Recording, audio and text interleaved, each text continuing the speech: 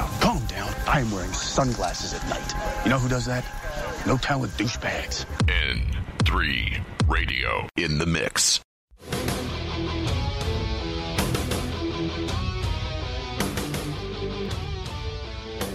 Hey there, guys. Welcome to another edition of Don't Tread on Me. It is July 3rd, 2019, and it's just Beach Ball by himself. As you know, Mad Dog has some issues that he wants to get through as far as uh, nice recording equipment goes, and Trooper Sam has the day off, so you're stuck with me, Beach Ball, on this what is it, July 4th Eve? I guess that's what you could call it. Anyway, lots of stuff to get into. We'll play some uh, YouTube videos uh, later on in the show, getting into what's been going on in the world of entertainment, politics, and current events.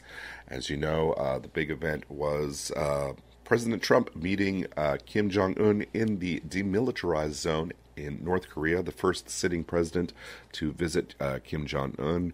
And predictably, predictably, of course, the Democrats have just jumped all over him for going to visit him.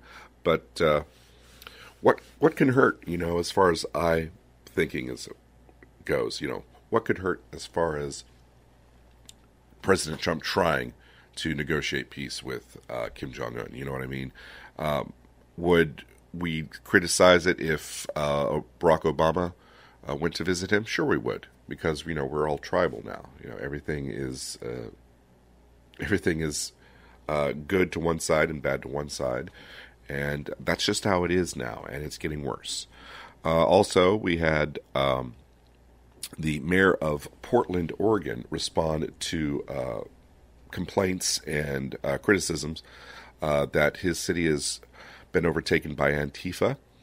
He uh, tweeted out response saying, People have been using the freedom of speech to bring hatred. No, uh, it's called the Patriot Prayer Group, and they have a right to do that. What uh, people do not have a right to do is beat up people and commit acts of violence. And yes, throwing a milkshake is an act of violence. Uh, anyway, I want to get into some videos uh, for this week. Obviously, uh, I'm not going to be able to take up the entire time talking.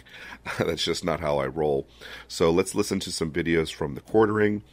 Uh, from Geeks and Gamers and from Tim Pool. Uh, this will fill up the rest of the time here on N3 Radios. Don't tread on me. Uh, stick around for announcements as far as when Mad Dog will be back. You can find out more by going to our website, n3radio.com.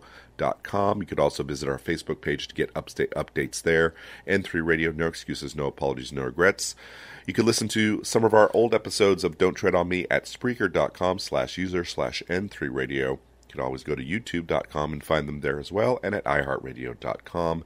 In the meantime, here's Tim Pool on the attack in Portland, Oregon on that uh, journalist, and we'll get some more news stories and thoughts and opinions uh, on other things that are going on as far as the world of entertainment, politics, and current events goes. Keep it tuned right here to N3 Radio because you're listening to Don't Tread on Me.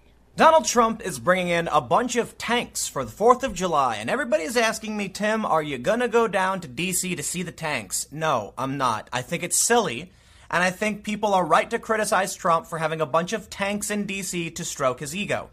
But I certainly do not believe that putting on a bunch of putting a bunch of tanks on display is some kind of authoritarian nightmare where you've got some people actually equating it to Tiananmen Square. Please. It's decoration as far as I'm concerned. That's nuts. I'll tell you what is disconcerting to me.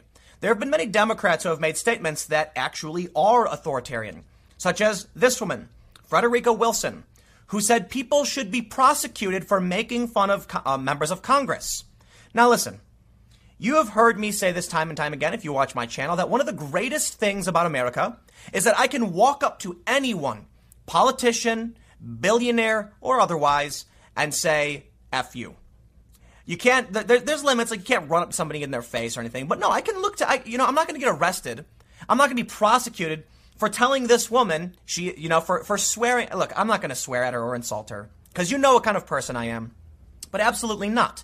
In America, we're allowed to tell politicians whatever we want for the most part. Like you can't threaten them or incite violence. She does bring that up. The point I'm trying to make is I can make fun of you all I want, and there's nothing you can do about it. That's why this country is great. But it's not just Frederica Wilson.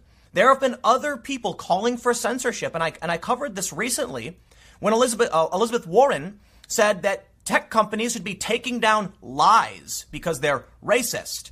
Just because someone has a conversation you don't like doesn't mean you can take them down. So here's what we're going to do. Let's take a look at various instances where we have seen the freakish authoritarianism emerging on the left, and I've got a bunch of stories for you. But before we get started, head over to timcast.com slash donate if you'd like to support my work. There's a monthly donation option, a crypto option, a physical address, but of course, the best thing you can do, share this video. YouTube no longer suggests my videos in the same way as everyone else on YouTube. It's true for all political channels. If you think my content is good, I ask you to share it, to suggest it to other people. But let's read the news. From the Daily Wire's Ryan Saavedra. Democratic Rep. Frederica Wilson led a congressional delegation to inspect an immigration detention facility on Tuesday. And following her visit, she said that people who are making fun of members of Congress online should be prosecuted. She she really did. Seriously. It's like, come on, man. She's okay. They went inside around 1 p.m. There's a quote. They went they went they went inside around 1 p.m. with the purpose of investigating the conditions that that, uh, that migrant children are living in. CBS Miami reported. Joining Wilson was fellow South Florida uh, Rep. Donna Shalala, Rep. Bennie Thompson, Brenda Lawrence, Yvette Clarke, Katherine Clark, John Lewis, and Madeleine Dean. Here's, here's the quote. Those people who are online making fun of members of Congress are a disgrace, and there is no need for anyone to think that is unacceptable, Wilson said during a press conference. We are going to shut them down and work with whoever it is to shut them down, and they should be prosecuted. First, let's go over the weird. Wait, wait, wait. There's no need to, for anyone to think that is unacceptable. Right? That's a that's a that's a double negative. She's saying it is acceptable, but you know what she was trying to say because she goes on to say we are going to shut them down. Look, I get it. That can be. Um, you know, if you're not going to take it literally, it could just mean like we're going to rise up to the challenge. It could mean we're going to be louder than them. But when she goes on to say they should be prosecuted, we know what she actually means. She is saying, as a government actor who is being ridiculed, she wants to shut down the speech and and, and ch- arrest people, prosecute them for insulting her, for making fun of her. Sorry, that's not the way it works. Now, this is just one small story, right? She does go on to say you can't threaten members of Congress. She's right in that regard, but she's wrong in the regard you can prosecute somebody for being mean to you. This is the direction things have been going for a long time. Okay? The regressive left type individuals have been saying things like, you know, people say, you know, say I'm crazy and stupid on the internet. Yeah, well, that's too bad. But what happens? Twitter, Facebook, YouTube, they actually create policies saying no being mean to people on the internet. Now, look, from a, a, a personal ethics and philosophical perspective, I agree. Don't be mean to people. Like, I can be mean sometimes. I'll say someone's stupid or insane, but, but rarely. You guys, like, I'm not even willing to tell her off and, and, and swear at her because I, that's just not who I am. Although I certainly respect the right of individuals to do that. It was, it's, it's, it is what makes this country great. We have the right to challenge those in power, right? Plain and simple. But we have this movement where people are burning free speech signs. They're saying bigotry and hate speech. You can't, like, they don't want you being mean on the internet. But what's crazy is, and here's where it gets interesting, they are mean on the internet. They say mean things, and it's okay. They say speech is violence, but throwing milkshakes isn't. We know the game. Uh, you, you, can see the game they're playing.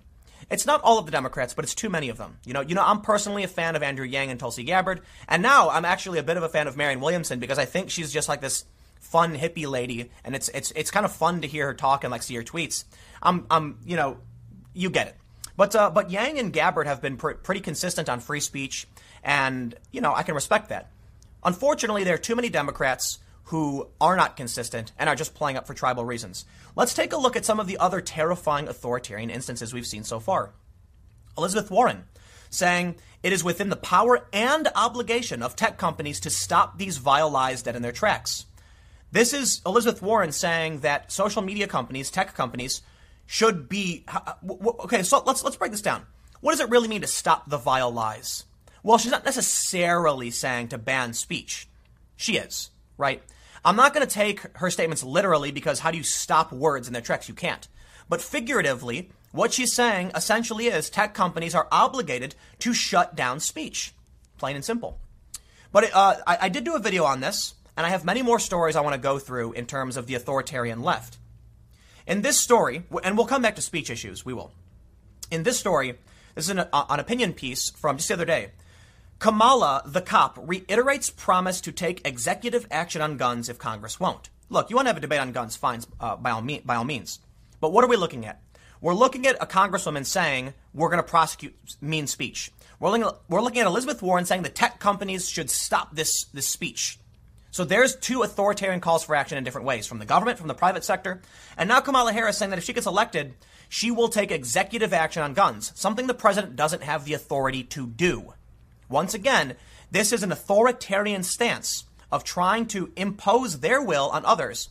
Listen, if they're going to take the position that they're allowed to do it and other people aren't, and they want to use, like, push their will on you, basically, not only is it authoritarian, but it's like you're not even consistent in what your, your authoritarianism is. So that shows what you're really on about is personal power. If they said hate speech should be banned and I will ban it, and they banned the left and the right, well, okay, well, they're authoritarian, but at least they're consistent. What we're seeing here is not nothing to do with, with, with actual principle, but what I see is I want power. That's what they're saying when they do this. But don't worry, I got a lot more. In this story, we saw a while ago, February 08, uh, February 8th, 2019, Democratic Congresswoman threatens black Republican teenager, quote, you're right to be afraid of us. Naturally, this woman got heavy pushback. This was Rep. Nydia Velazquez. She told CJ Pearson, I'm not the woman sitting next to AOC, to her, and I and millions like us are the future of this country, and you are right to be afraid of us. But you should learn my name. What does that mean? We're the future of this country. She, this is a Hispanic woman telling a black, a young black conservative, they're the future and he should be afraid. Does that sound racist? So this is another good example of kind of the hypocrisy. They talk about intersectionality, they talk about marginalized groups, but we've all seen it, right? They physically they, they attacked Andy Ngo. Did, did, did they care about his identity? Of course they didn't. These are action. We, we are seeing the mask slip where they are full on authoritarian. And what's really crazy to me, I've got a couple more stories I want to go through in terms of speech and and the rhetoric, but then I want to show you how when it came to Andy Ngo, and, and you probably know this already, but we're going to go through it. They they they they have lied, they have spread lies, they are trying to justify violence. Let's move on.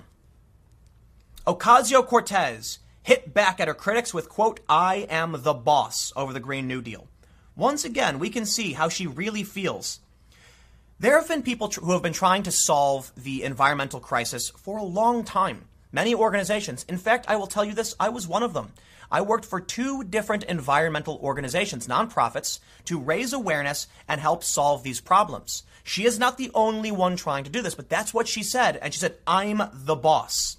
So, what's the actual quote they have?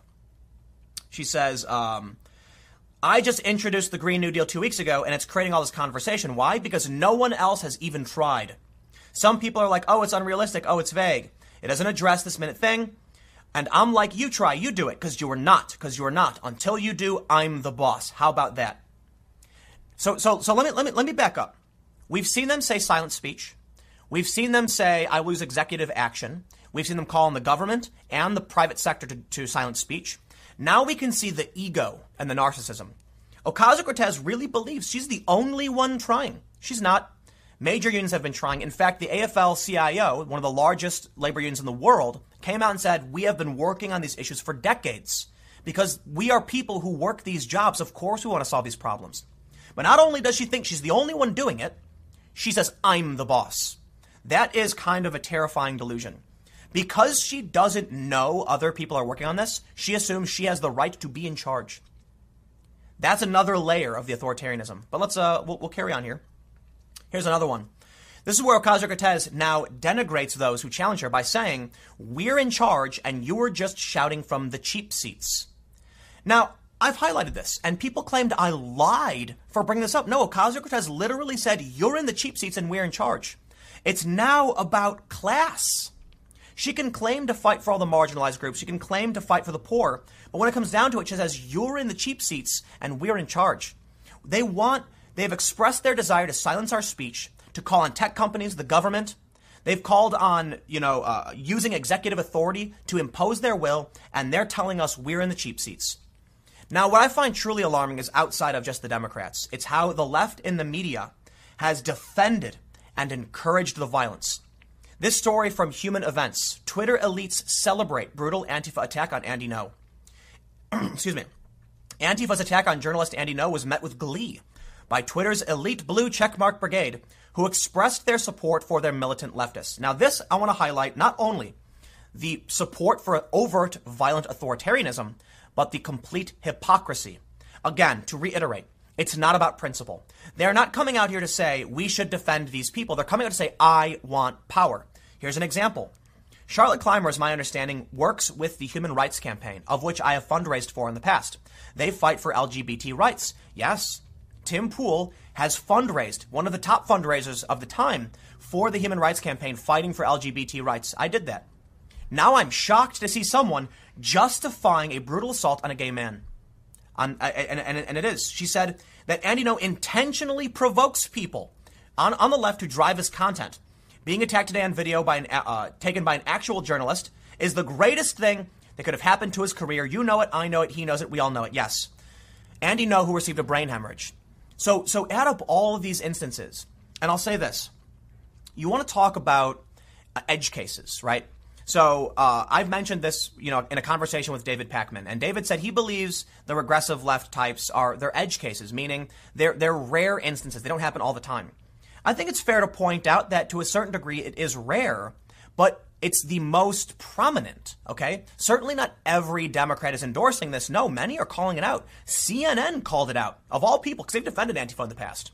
But there, uh, there are a lot of Democrats, even Eric Swalwell condemned this. Jake Tapper condemned it, Andrew Yang condemned it. So, yes, regular Democrats, even if they are starting to push to the far left, will still call this out. Here's the problem the influencers of the left, those with the most followers, Yes, there's not there's not that many people who have as many followers as they do, but it's because they're on top. This is an individual. These are multiple individuals who are advocating extreme violence, and they're verified left wing individuals who are leading the charge.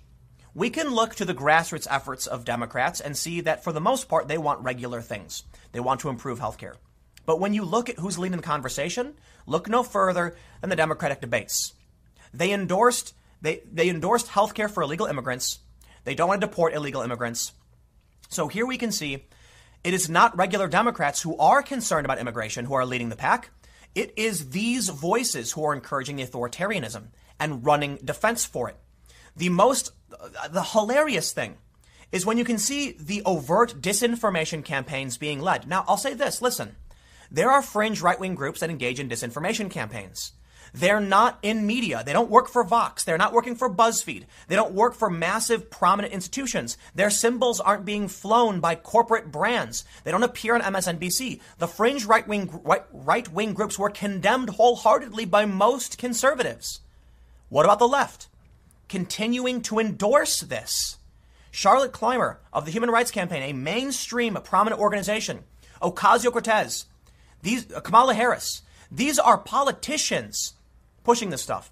And of course, as we know, the, the, the Tablet Magazine and the New York Times outed far left Democrats who are prominent, mainstream, and supported for being anti Semites.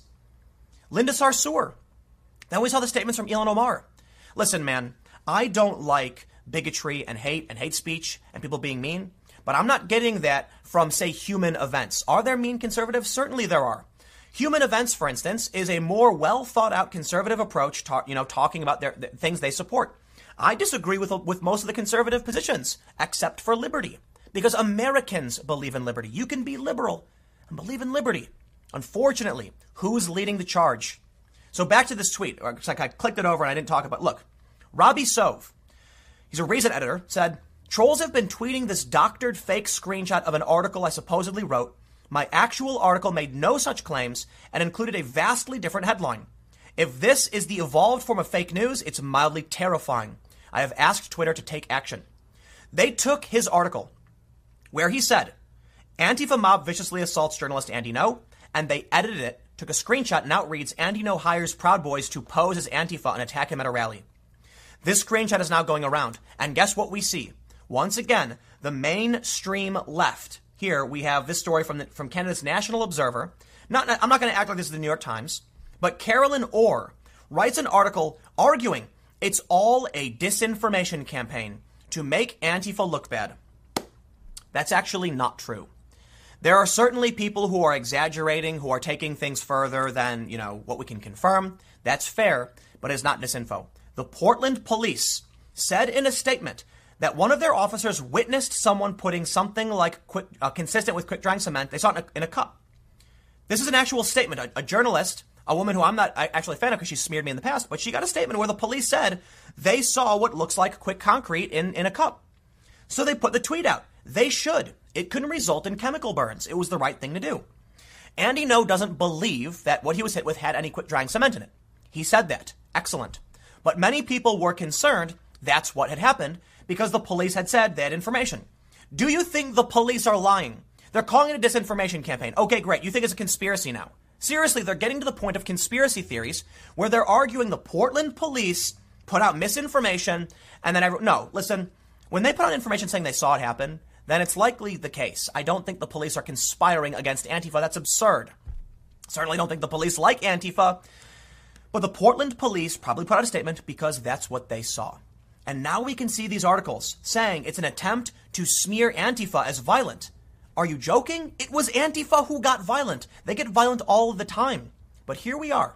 So we'll pull up a little bit more. Um, this is a statement from Donald Trump Jr. The media was complicit in a brutal assault on an innocent conservative journalist. Andy Ngo is not engaged in any violent activities. He just has opinions they don't like. And it's really scary how a lot of the a lot of the answer, like a lot of the responses we see is, "What did you think was going to happen when you opposed us?" I kid you not. One guy from the New York Times wrote, "He sh- he should have known this would happen." So which is it? Is Antifa violent and you'll defend them because they should have known better? Is Antifa not really violent and it's a disinformation campaign? None of that matters. The main point that I want to get across in this video is that we have seen an increase on the Democratic side of authoritarianism, defense of it, and lies to protect it. So I want to do a quick sweep, and I'm going to end with one more segment that I think is actually kind of funny. What did we see so far? A woman saying we should prosecute those who make fun of Congress people. Someone saying that big tech companies are obligated to remove vile li- things she thinks are lies. Okay. Two government actors calling on government and private sector. Kamala Harris threatening to use executive action to, to get through what she wants. We can see a Democratic congresswoman saying, you should fear us. We've got Ocasio Cortez saying, I'm the boss and you're in the cheap seats. Then it comes to the physical violence, and we can see the media defending it. This isn't, it doesn't exist on the mainstream right the way it does on the left. I think all of the far right extremist crazy people, by all means, lock them up, throw away the key. I'm talking about the violent ones who are, who are threatening communities, who are engaging in hate crimes like physical violence against people, lock them up. If you commit a crime, you go to jail. But these people aren't in Congress. You can argue Steve King, sure, but they stripped him of all his committees. They, the, the Republicans said, get him out of here. We don't want him. What about the Democrats? What about Ilhan Omar? What about her statements? What about Ocasio Cortez speaking at the Women's March, which was put on by known anti Semites? It's all mainstream. And I'll tell you where it ends. Nike triggered Joe Scarborough tweets epic vent against woke Democrats. Joe Scarborough went on a, a, a, tirade because the Democrats have gone off the rails. Absolutely, in my opinion. And you know what? Do I have this? I don't have the story pulled up, but there is a New York Times, you know, another graph showing the Republicans going a little to the right, but the left going just off the rails. And here we can see it. He says Democratic candidates now support universal health care for illegal immigrants making illegal crossing, uh, make it, making illegally crossing America's borders legal, and return a return to forced busing. He went on a huge tirade saying the woke Democrats essentially are going to cost the Democrats 2020. Trump's going to win. And now we see Mayor Willie Brown saying no Democrat can win, not even Kamala Harris. It's over. Trump won. And it's true. But you know what? It was really interesting to see Lindsey Graham say this. I think it was during the Brett Kavanaugh hearing. He said, Y'all want power, and God, I hope you never get it. And it's so crazy to me because, man, I do not like Lindsey Graham. I never did. I never liked any of these Republicans. But I got to tell you, a weird thing has happened where liberal Tim Pool, the mixed race, you know, pro social justice individual, has now found that the left has shown all of these signs of authoritarian violence and the restriction of speech and threats and ego- egotism and narcissism, and it's terrified me. I don't see myself voting for a Republican. I really don't. But I'll tell you this the Democrats have lost me for sure. I will support Tulsi Gabbard because she's fought, she's pushed back against censorship. She said identity politics is divisive.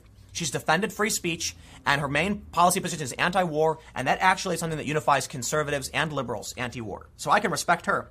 But, I, but I, I see them cheating. I don't see them giving her a chance. So what are we left with?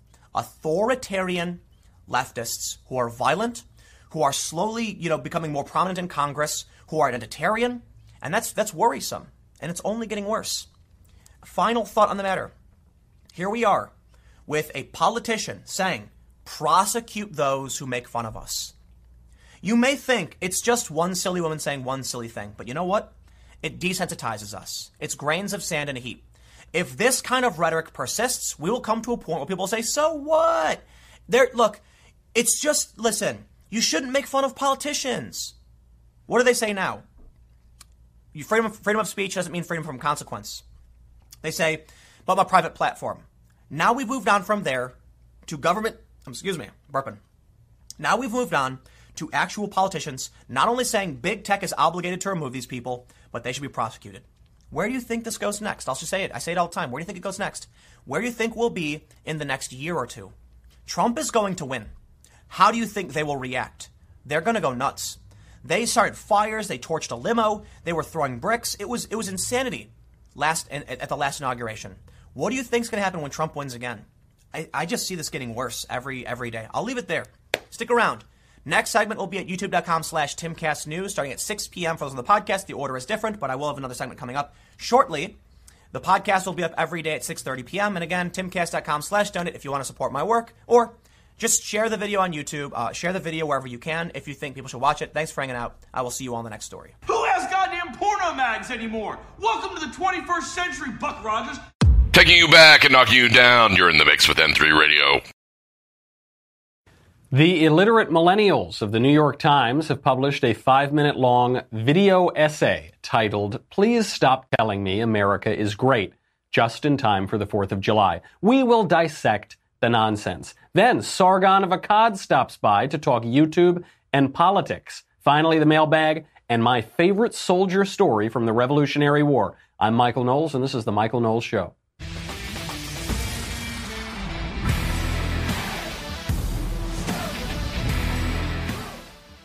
Just in time for the 4th of July, the New York Times comes out with a total hit piece on not just some political issue, not just on Trump, not just on conservatives, but on all of American history and the American nation. And they call it an opinion piece. So they say it's an op ed. You know, we're not necessarily endorsing this view, we're just publishing it. It's written, quote unquote, by someone named Tage Johnson and Nayeema Raza. But the New York Times can't distance themselves from this entirely because it's not an essay that these people wrote. It's a video essay. This is something that was produced at the New York Times. It's a five minute long video that they hired someone to narrate it and they hired people to illustrate it and animate it. And it goes through and it's just an all out attack on America uh, and the idea that America is great. I mean, there's obviously an underlying message of the of anti-Trumpism because President Trump's campaign slogan is "Make America Great Again, Keep America Great." They're saying America isn't great. Don't tell me that America was great, but they don't talk about Trump. They just talk about the country. Here's how they launched their attack. America, the greatest country on earth. A narrative packed and sold to tiny patriots, reinforced by every cartoon, movie, cheeseburger, and mattress sale. Guaranteed. A mythology so entrenched, our most beloved personalities urge us never to question it. Don't let anyone ever tell you that this country isn't great. This right now is the greatest country on earth. Greatest country God ever gave me. You're the greatest country in the world, I'll tell you that. No, America's the greatest country in the world. But what if we did question it? America is the richest country in this club, but we're also the poorest, with a whopping 18% poverty rate closer to Mexico than Western Europe. 12.8 million American children live in poverty. That's almost one in five of our kids. And speaking of kids, turns out at the level of high school science, we're 19th of 36. Reading, 20th. And math, a dismal 30th. We spend more on healthcare than any other country in the golf club, especially out of our own private little pockets. But we live sicker and shorter lives. We're fatter And globally, we're more likely to see newborns die. We're even behind Bosnia. So I don't even know where to begin with this, with all of the internal contradictions and the outright nonsense. The premise at the beginning is that we're told never to question how great America is. When was the last time that was true? Like 1952? All we are told from kindergarten onward is that America isn't great. I mean, now in our high schools, we are taught left wing anti American polemics like Howard Zinn's People's History of the United States as though they were scholarship, as though they were regular old history textbooks. We're constantly deconstructing America. We're knocking down monuments. I mean, obviously, we're knocking down monuments to Christopher Columbus. We're knocking down monuments to George Washington. There's a school in California about to spend about $600,000 to cover up a mural of George Washington at a school named after George Washington. We're always told that America isn't great. The thing that we're not learning is all the great stuff that America has done. But then the New York Times goes in just in those first few seconds to contradict themselves several times. We'll get to that in a second. But first, if you are not paying off your credit cards each month, you are paying hundreds, if not thousands of dollars in interest every year. Let Lending Club help you out. With Lending Club, you can consolidate debt or pay off credit cards with one fixed monthly payment. Since 2007, Lending Club has helped millions of people regain control of their finances with affordable fixed rate personal loans. No trips to a bank, no high interest credit cards. Just go to lendingclub.com, tell them about yourself and how much you want to borrow, pick the terms that are right for you. If you're approved, your loan is automatically deposited into your bank account in as little as a few days. Lending Club is the number one peer to peer lending platform with over $35 billion in loans issued. People, uh, especially guys, get really lazy about this. I, I, think that it's not that they get behind on their credit cards because they're terrible with money or they're lazy or, or they're lazy in their jobs. I mean, they're lazy in figuring out their finances. They don't want to figure out how you can save so much money in all those high interest rates by just consolidating your debt. It's don't if you're not going to be lazy about your job, don't be lazy about your finances. Do the smart thing. You can save a lot of money. Go to lendingclub.com slash Knowles, K-N-O-W-L-E-S. Check your rate in minutes and borrow up to $40,000. That's lendingclub.com slash Knowles, K-N-O-W-L-E-S. Lendingclub.com slash Knowles, K-N-O-W-L-E-S. All loans made by WebBank member FDIC equal housing lender. So the premise of this whole New York Times video is just demonstrably false. We are told by the pop culture, we're told by our educational institutions, we are told by the New York Times itself, the gray lady, all the news that fits the narrative, that America isn't great. And they tell us that we're told never to question how great America is. I mean, even Barack Obama, the President of the United States, he said he wants to fundamentally transform America, and he said he doesn't really believe in American exceptionalism any more than anyone else believes in the exceptionalism of their own country. But then, did you hear what they criticize America for? They criticize America for being really poor. You know, we're so poor, we're starving. Then they also criticize America for being too fat. We're obese. They, they criticize America because our babies are more likely to die, apparently, than in some countries. But then the New York Times, almost every day of the week, talks about how abortion is a sacred right that we need to protect, a constitutional right to kill a million babies a year, but it's terrible that some babies die. They, they criticize us for spending the most money on health care. They say it's mostly out of our own pockets, too. As if some money wasn't out of our pockets. When the government spends money, I guess the New York Times thinks it, it comes from magic. It comes from thin air. It doesn't come from our own pockets. Of course, government spending comes from our pockets. It comes from our pockets through taxation, then it is inefficiently spent, and there's a lot of corruption usually along the way. Then they spend it on healthcare. So they criticize us for spending a lot of money on healthcare. But we also have the best healthcare system in the world. Everybody who wants good healthcare comes to the United States from every other country. If you want really the top healthcare in the world, you don't go to Cuba. You don't go to Canada. You don't go to the UK. You don't go to China. You come to America. Why? Because we have the best healthcare system. And it's not only for the super duper rich. Everybody in America can get treatment. And you don't have to wait in long lines. We don't have long lines to wait for healthcare. We don't, like the UK, have a system where the government just takes control of your baby. And if you want to get your baby's treatment for his condition, like as in the case of little baby Charlie Gard or baby Alfie, The government in the US can't just steal your baby from you like the, the socialist government in the UK did. We have control over our healthcare here. Also, we lead virtually all of the healthcare innovation in the world. I, I guess it comes at a cost, but it's not that bad. We're all doing pretty well here. The New York Times then goes on to talk about all of the immense flaws in American democracy. Year, America slid on global rankings of corruption and freedom and dropped from a functional to a flawed democracy. I have to stop it there because the, the flaw in the New York Times' argument is that America is a democracy. We're not a democracy, we're a republic. The founders and framers were terrified of direct democracy. They were terrified of mob rule. That's why we have this brilliant federal system, this republican system that balances different rights, different authority, different powers between the federal government, the state governments, the local governments, for, between the judiciary and the legislature and the executive. It's a brilliant system. But e- even beyond that, I was wondering when I saw them say that the U.S. is falling behind, we're a flawed democracy. According to whom? Who, whose opinion do I really have to value here? The answer is it comes from the Economist Intelligence Unit. That's The Economist, is in that leftist magazine from the United Kingdom, the magazine that called Ben Shapiro an alt right sage. Orthodox Jew, yarmulke wearing Ben Shapiro is apparently a Nazi, according to this outlet, The Economist.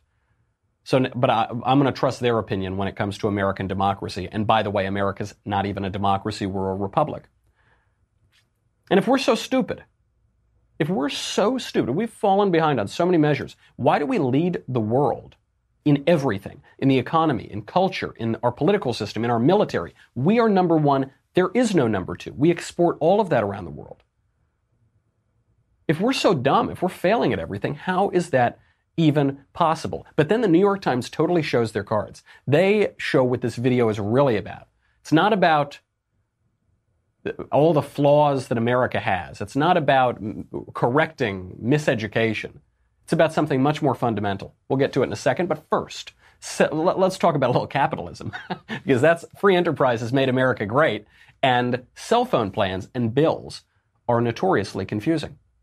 It is impossible to know what you're really paying for. All those hidden fees, all those charges, and when you sign up, it doesn't seem like there are all those charges, but then when you get the bill, they all add up no more. Thanks to wonderful free enterprise and competition, we have Mint Mobile. Mint Mobile makes it easy to cut your wireless bill down to just 15 bucks a month. And I know you don't believe me because you've been burned too many times on cell phone plans. So you know, when you hear 15 bucks a month, you say, yeah, there's going to be all these extra charges though. Then you're going to have a $50 fee here and 80. No, I'm telling you, believe me, 15 bucks a month. That's what it is. I'm telling you the truth. Every plan Comes with unlimited nationwide talk and text. With Mint Mobile, stop paying for unlimited data that you will never use. You can choose plans between 3, 8, or 12 gigabytes of 4G LTE data. You use your own cell phone with any Mint Mobile plan, and you keep the same phone number along with all your existing contacts. Ditch your old wireless bill and start saving with Mint Mobile. The way the old wireless companies do it is they charge you for all this data that you're never going to use. So you have the illusion that you're using all this data and you're paying an arm and a leg for it. But you don't use it. They never have to part with it. And it's just a way for them to rob you blind. Get smart, ditch it to get your new wireless plan for just 15 bucks a month and get the plan shipped to your door for free. Go to mintmobile.com slash Knowles, K-N-O-W-L-E-S. That is mintmobile.com slash Knowles, K-N-O-W-L-E-S. Cut your wireless bill down to 15 bucks a month at mintmobile.com slash Knowles. So the New York Times finally gives away their hand here. They go on to describe everything that we do succeed in in America, but it's all terrible according to the New York Times. So, what, besides our economy and military, are we actually number one in? Are we number one in? Uh, now, listen how they bury the lead here, right? What, besides our economy and military, are we actually number one in?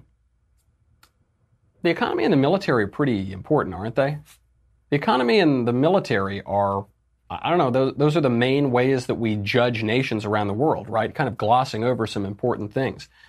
And our economy and our military aren't just slightly better than everybody's; they are a zillion times better. I mean, they are. There's barely a second place.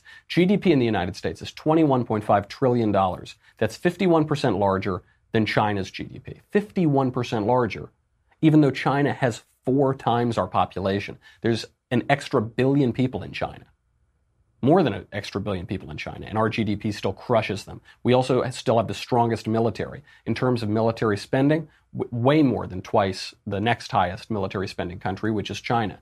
But as a matter of military victories, military power that we project around the world, you, you couldn't even quantify it. So, pretty good. I mean, it's funny, they, they have to admit that because otherwise it's just so dishonest in their video. But what did they, they spent like four seconds saying that. Then they move on. They say, but besides that, besides those two incredibly important measures, what else are we number one in? Just a bunch of totally bad stuff. Turns out, a lot of things civilian gun ownership, mass shootings, TV watching, prescription drug abuse, prison population. Oh, and almost number one on environmental damage, edged out by China. Okay, you see all of, oh no, it's so awful. Let's just quickly debunk every single thing they said. First of all, civilian gun ownership is a very good thing. It not only protects us from bad guys, it protects us from tyranny, from the worst. The worst tyrannies in the world have taken away people's guns before they've they've unleashed their worst miseries on their people. So civilian gun ownership that is a plus. It is good that we have the number one in that. Uh, mass shootings, yeah, mass shootings are awful. Americans are also much much more likely to be killed by hands and feet and clubs and hammers than the types of guns that are used in mass shootings. So it's it's awful when things happen. It's it's sad that in a fallen world bad things happen, but uh, it's not even coming close to the real issues here. The vast majority of gun crimes, by the way, are not mass shootings, or not AR-15s. They're pistols being used in suicides. And guess what? If you take away the guns, the people who are going to kill themselves are just going to find out another way to do it. Uh, TV watching, they mentioned. This is my favorite one they mentioned because they're talking about how awful TV watching is in a medium that is being viewed on a TV screen. This is a video essay. So you're watching this on a TV screen and they're telling you how bad TV is. If TV is so bad, why'd you make the essay? Why didn't you just use your words and write it? Oh, I forgot because the millennials who run the New York Times are completely illiterate. Prescription drug abuse. Now, this one is very important because it sounds bad, it can be bad, but actually, it, it, it shows you a wonderful aspect of America that they had just been complaining about earlier. We'll get to that in a second, but first, we are so capitalistic today, folks. And this especially, oh my, I'm so pleased that I get to leave you for 4th of July weekend telling you about Purple Mattress. You know how much I love purple mattress. Red, white, and blue is the color of this weekend. What happens when you mix them all together? Well, you get purple, of course, and it will feel different than anything else you've ever experienced because it's this new technology. It's not an inner spring, it's not a memory foam, it's this new plasticky, I don't even know what it is. It's, it's made by a rocket scientist. It's, it's both firm and soft at the same time. How is that possible? I didn't, I don't know. I can't tell you. It just is. How, why does it feel cool when you sleep on it? Why does it, why don't you get super hot at night? I don't know. I'm not a rocket scientist. I was so skeptical of this mattress. I, listen, I'm conservative. I don't like change, okay? I was perfectly fine on my old mattress, or so I thought. I tried out Purple for one night, and I have become a proselytizer for Purple Mat. I love this thing so much. I talk about it like two or three times a week. Just a sweet little lace on the bed. You're going to love it. 100 night risk free trial. If you are not totally satisfied, you can return your mattress for a full refund. Backed by a 10 year warranty, free shipping and returns, free in home setup, and old mattress removal. You will love Purple, and right now my listeners get a free Purple pillow with the purchase of a mattress. That's in addition to all the great free gifts they're offering site wide. How do you do it? Just text Knowles, K N O W L E S, to 84888. The only way to get this free pillow is to text Knowles K-N-O-W-L-E-S to 84888. K-N-O-W-L-E-S to 84888. Message and data rates may apply. So then they go on in the New York Times, they criticize prescription drug abuse. Yeah, prescription drug abuse is awful. It also means that we have a highly functioning healthcare system where the problem is not that there's too little medicine for too few people, it's that there's too much medicine for too many people. Obviously, you want to stop prescription drug abuse as best you can. You want to stop bad doctors from overprescribing. But prescription drug abuse is the sort of problem that you get in a healthcare system that is actually suffering from abundance, not scarcity. We're suffering from too much healthcare, not too little. Prison population, they say this like it's a bad thing. A, a, a, sometimes conservatives fall into this trap too. A large prison population means that we are locking up our criminals. That's a good thing. When we had a lower prison population in the early 90s and late 80s, we had a lot more criminals on the street committing a lot more violent crimes. Now we have many more people in prison and a much lower crime rate. Good thing. Lock them up. Lock more of them up. I want, I want more prison, uh, a greater prison population, so we have lower crime. And then environmental damage. This is just BS. Uh, you can just take the Paris deal as an example. We pulled out of that Paris climate deal and we are leading the world in reducing carbon emissions. In 2017, U.S. carbon emissions declined by more than 42 million tons. Now, what's bizarre about this is that Canada, Spain, the EU, and China, who are all signatories of the Paris deal, they are, they're really serious about taking care of the climate. They actually increased their carbon emissions. The New York Times doesn't talk about that, though. So we pull out of these stupid do nothing deals and we actually lead the world on the environment. The New York Times doesn't even come close to making an argument that America isn't great. What they do is show that they don't like America.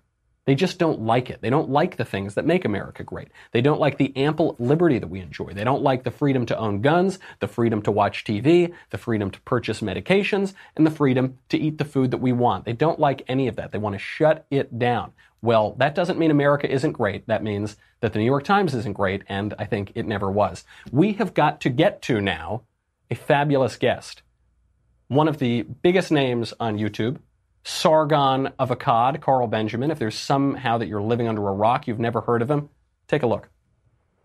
You're normalizing this kind of language. Here I, am normalizing your... comedy because at this point, comedy is under attack in this country. Here is I mean, I'm being investigated for a joke. Pages. I can name other comedians who are being investigated for jokes. We have gone down a very dark path. As, the, as Orwell says, printed on the front of this building, if liberty is to mean anything at all, it must mean the right to tell people that which they don't want to hear.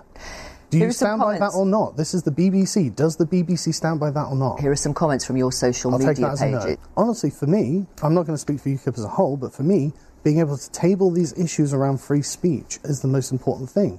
I'm a free speech activist. We, we are losing our ability to make jokes in this country. What about because of puritanical moral standards? I don't that? promote the language of rape and violence. I make jokes. Do you agree? You're the that? ones decontextualizing this, and no, that's tyrannical. That's tyrannical. That is the state of the mainstream media right now, and that's the state of big tech right now. But at least they haven't shut us down yet. Sargon of Akkad, Carl Benjamin. So nice to meet you, my friend. I'm so glad you could come by in studio. Oh, thank you for having me. Now, it's a real pleasure. Of course, I've seen a lot of your videos, but you know, I wanted to refresh. I wanted to see what people are saying about you now. So I looked up some articles in BuzzFeed. You know, the best place. Uh, the, the best yeah. place. I mean, in the New York Times, and I learned. I didn't know this about you. You are an alt right, white supremacist Nazi. Did you know that? Uh, it, actually, yes. I, I read those articles too. yeah. so of, of course, since I read it in the New York Times, of course it has to be true, right? Front page That's as right. well. That was the, the great thing. I mean, I didn't realize I was such big news. But, I mean... How does this happen? I mean, you go from being one of the biggest names on YouTube, and your big issue is free speech. I mean, you yes. are a politically incorrect guy. You say plenty of outrageous things. You say, you make plenty of jokes. Yes. And they try to turn you into a Nazi. How did it happen? Why did it happen? It happened exclusively, and it happens to anyone who challenges uh, the progressive left and the dominance of political correctness across the uh, the political sphere of society. That's the exclusively the reason they do it, and they will continue doing it until eventually people just stop listening to them. And I, I can't think of any other way for it to end. Really, I, I mean, we can't censor them out of existence, obviously. So what other options do we have? But they can censor us out of existence. I mean, that's my fear of it. yes, they can, but that's because they're Nazis. Right. right, right. I mean, ironically, if, they're going to call me a Nazi, yeah. I'm going to call them a Nazi. If they're going to they're going to say they're anti-fascist, they're marching around literally wearing black shirts, the uniform mm. of hmm. fascists, using violence yeah. against civilians for political ends. Yeah. But th- I do have a real fear about this because you have, you still have one of the biggest channels on YouTube. For now. For now. Mm. They demonetized you. Mm-hmm. and then they kicked you off Patreon. So they kicked you off your instrument of funding yourself. Yeah, and the, uh, the, the what's worse as well is that they are definitely deranking us on YouTube's algorithms as well. Uh, I can I can actually see there's a very uh, explicit visual representation of this because YouTube give you the access to the information on how people find your channel, and uh, obviously a huge chunk of it is recommended videos in the sidebar. Um, and you can see that I think it was around May the first they obviously altered their algorithm because the traffic from that just plummets, and that's a huge amount of traffic that comes to your channel. Uh, so yeah, we're, and and this is not just happening to me; it's happening to Dave Rubin, it's happening to um, Tim Pool, and this was what the Project Veritas uh, whistleblowers have been letting us know. And it's again, and it's not new either. The, these sort of whistleblowers, like James Damore, coming out and saying, "Look, Google has a monoculture that actively describes us, and as as uh, the Veritas leaks showed, they describe us actually as Nazis. They consider Ben Shapiro, Dennis Prager, and Jordan Peterson." To actually be Nazis, dog whistling to other Nazis. I mean, I, I, I don't know where to go with that because it's so comically backwards. Well, what I love about the dog whistle claim is, you know, I never hear these dog whistles. No. You never hear them. I'm not a They're the- dog. they're- yeah, that's right. I They're can't the hear only it. people hearing the dog whistle. So what does that make them? Yes. But when you got kicked off Patreon, Yes. that actually did spark a pretty big backlash. It did. Jordan Peterson Yes. got off. Dave Rubin got off. Has it made any difference? Not really, because um, oh well, initially, initially yes, um, and uh, because that's the sort of uh, dirty tactic they go for. Uh, Patreon's own rules, and Jack Conte was very clear about this when he was talking to Dave Rubin, saying no, we only care about what you do on Patreon, except when they get something that they decide they want to take off Patreon, which was, you know, none of this was on Patreon. It was when I was having a spat with a group of Nazis online, actual, you know, Nazis online, and I was calling them mean words, and Patreon decided, nope, you can't call them mean words. We we are concerned about the sanctity of these Nazis, and therefore you can go. Um, and that wouldn't have been a problem because there, there are alternatives. There are competitors to Patreon. Because really what they do, it's a, it's a very basic service. They just aggregate donations and then take 5% cut. Um, but the, the interesting thing is, I, I said, fine, that's not a problem. You know, you, if you if you for some reason wish to make up a, a reason to, to kick me off your platform, that's fine. I'll just use one of your competitors. And interestingly, uh, Stripe, the payment processing company, pulled out of that competitor uh, a day or two after I announced that I was going on there. Now that that that to me is very peculiar because this uh, this competitor had been going for about eight months prior to me joining it with no problems whatsoever. Suddenly I join it, and now oh no, so you can't have that. So it looks like it's uh, effectively cartel behavior. You know, it's This is the issue because I used to have. I mean, would you describe yourself as a conservative or more as a classical liberal? Uh, I, I describe myself as an English liberal, um, which I guess um, is is a lot closer to like your founding fathers, in Right, in many exactly. ways. You know, I, I believe in limited government, freedom of action, Right, because- Uh, in, inherent natural rights. You know, mm-hmm. nothing nothing that the Nazis would agree with, incidentally. But this is um, my issue is when I look at what they're doing to, hmm. to you. I mean, obviously, you're just a huge personality on YouTube, so they go for you. Yes. But they're doing it to me. They're doing it Of to all they of us here. And I used to be so laissez faire about everything, hands off, don't worry, it'll work itself out. Yep. Because if, look, if one tech company isn't going to let us on their platform, then Yep. another one will. Except they control the flow of information around the internet. And, well, okay, never mind. You know, at least.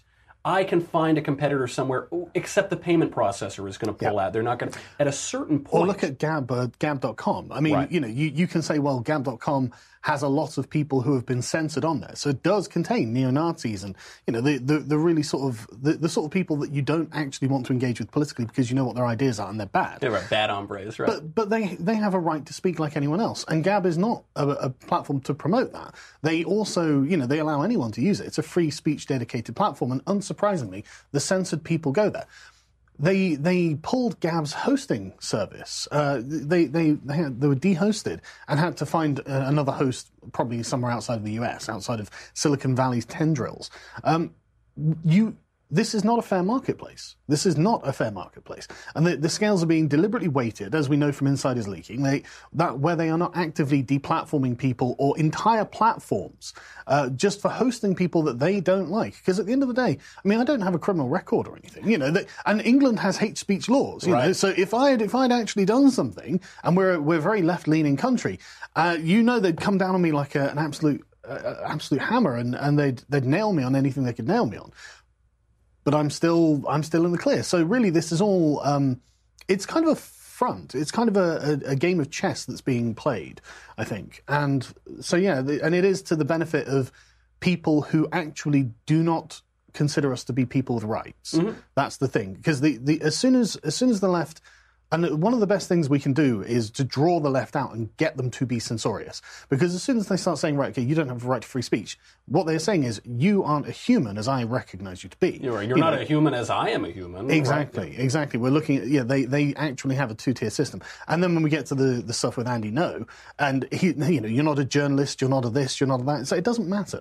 You know, if you recognize, recognize him as a human being with inherent rights, you know you don't have the right to just assault him or deplatform him or anything of these things.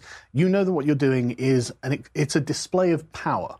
You know, that's the justification right. for it. It's not justified in principle. It's only justified because you have the means and you have the motive. And they, uh, frankly, they hate us. I mean, yes, I, I, don't do. know how else yeah. to say it. They hate us. The, yeah. the journalists, so called, at the Huffington Post, at New York Times, wherever. Yeah. They more or less defended Antifa against Andy openly. Openly, I've seen many of them. Uh, I mean, the, the Huffington Post posted an article saying.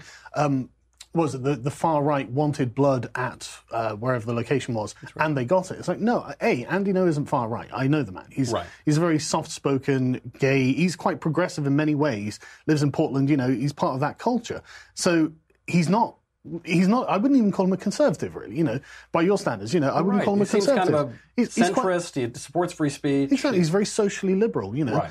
Um, but yeah, they, they will describe them as far right, and they will say, no, no, it's completely acceptable to do this. And then you'll see their talking heads and their verified checkmark journos on Twitter, all all spouting the same sort of thing. And then when one or two, like someone like Jake Tapper, steps out of line and says, well, hang on a second, and and understandably so, this is clearly undermining the rule of law. Right. You know, and there's no there's no way you can argue that it's not. All they can resort to is, yeah, well, he's fascist adjacent. He's enabling fascists, yeah. and it's like all right, all right. Because I mean, if we if that's the standard, then Antifa definitely enable fascists. Because the fascists can go look at these rampant communists who are beating right. people up in the streets. You know, you should listen to us. And where does the traffic go? Fascist you know? adjacent. This is a new That's amazing, isn't it? You know, I want to ask you one last very important question Ooh. on mm. this about where it goes from here. But before we do that, I've got to say goodbye to Facebook and YouTube. I probably already said goodbye to YouTube now that I had this guy on my show. so you've got to you you've got to uh, go over to dailywire.com. 10 bucks a month, $100 for an annual membership. You'll get me, you'll get the Andrew Klavan show, you get the Ben Shapiro show, you'll get the Matt Walsh show, you'll get everything. You'll get the Leftist Tears Tumblr. I, you know what? I don't want to rob. I don't want to rob the YouTube audience of your answer to this question. So I'll, I'll go to the sub break after you answer this. Now that they take away our platforms, they take away our pay, payment services, they take away our, everything. Mm-hmm. How do we fight back? Do we start another YouTube and then they take away that too? Or do we have to use political means to fight back? Um, there are there are two ways of doing it. Um, honestly, at the moment, the conservatives in the US are in the driving seat when it comes to political means. And honestly, there's nothing wrong with using them. You know, the, none of this would go against conservative principles as I understand them. Yeah. Um, this is not a free market. It is not. Uh, there is no fair procedure, and there is no just uh, cause behind it. There is no um, method of appeal either. So not, you could not describe the way that um, people like Tommy Robinson or Paul Joseph Watson on Facebook, are, the, the, way these people are being treated is monstrous. Mm-hmm. And if we, if we, I say we, uh, and when I say we, I mean just the people who are not the radical left at this point. It, you know, the, if the normal sort of centrist people were to act in that way to them, they would be howling, and we would be rightfully in the wrong. Um, so there's no question of it. There's there's every reason to look at Silicon Valley as uh, a cartel or a monopoly, something like that, because these platforms are. I mean, for example, Paul Joseph Watson, because Instagram is owned by Facebook, he's removed from both platforms in the same day, even though they've got different terms of service, right. even though he didn't actually break any of the rules as they can show them, especially the same with Tommy Robinson. Um, but it's a, it's a, it's an entire sweep mm-hmm. over any of the platforms that that company owns. You know, it's not just on that thing. So they're obviously not acting independently because they're owned by the same company. Exactly. So there's, they, I mean, and this is just demonstrably true. So there's every reason to think that antitrust laws can be used in these regards, I think. Um, f- failing that, there is also the option for the Conservatives to actually do something here, but it has to be essentially root and branch. You know, so they're going to have to start with their own uh, their own search engines, their own payment process, their own their own platforms, and build up to what the um, what the and it, it's not Our own domain services. it- own- precisely, right. yeah, yeah. It's, it's not even what the left has built because the left didn't build this; it co-opted this.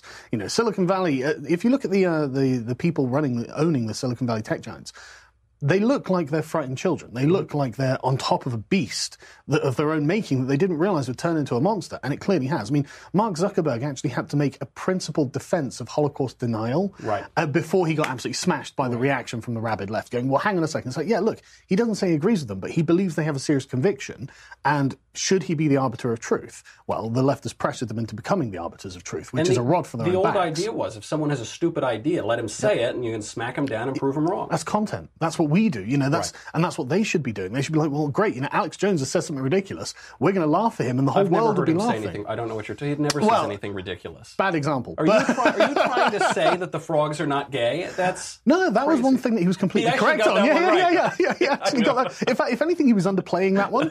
That he was, they was turning him trans, but um, That's right. But yeah, but no. So th- there are there are things that the right can do, but the the the problem I think is um, the right is generally quite libertarian, um, and principally so. Like it, it, it's a very strong moral conviction, and one I am genuinely sympathetic to. Mm-hmm. But I'm not a libertarian because I do believe that the state has a role. this is and- exactly how I feel. yeah, exactly right. There, there is there is a role for the state, and I think that it is to protect our rights. And in the case of the market, the market's not a perfect entity. You know, when you have a competition, effectively someone has to win.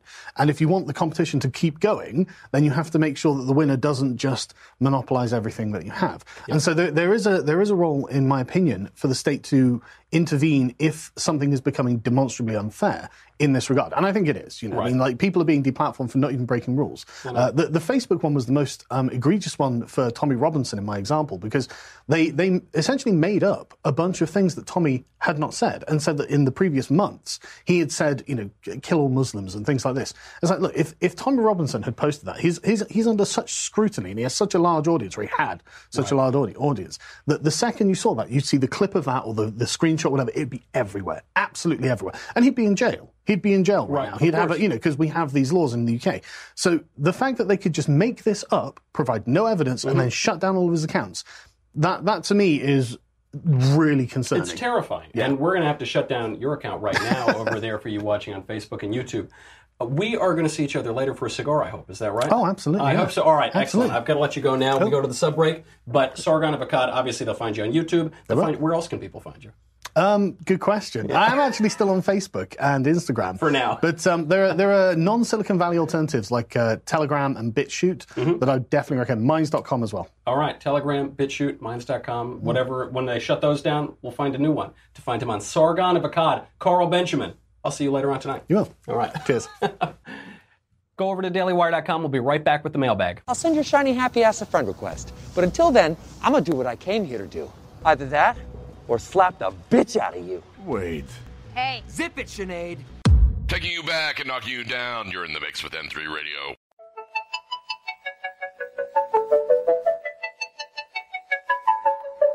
Butterfly in the sky. I can go twice as high.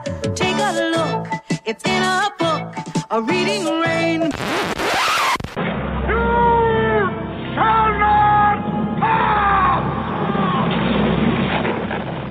Turn to a world of intrigue, mystery, and adventure with Perky'sPaperbacks.com with the best in paperback books.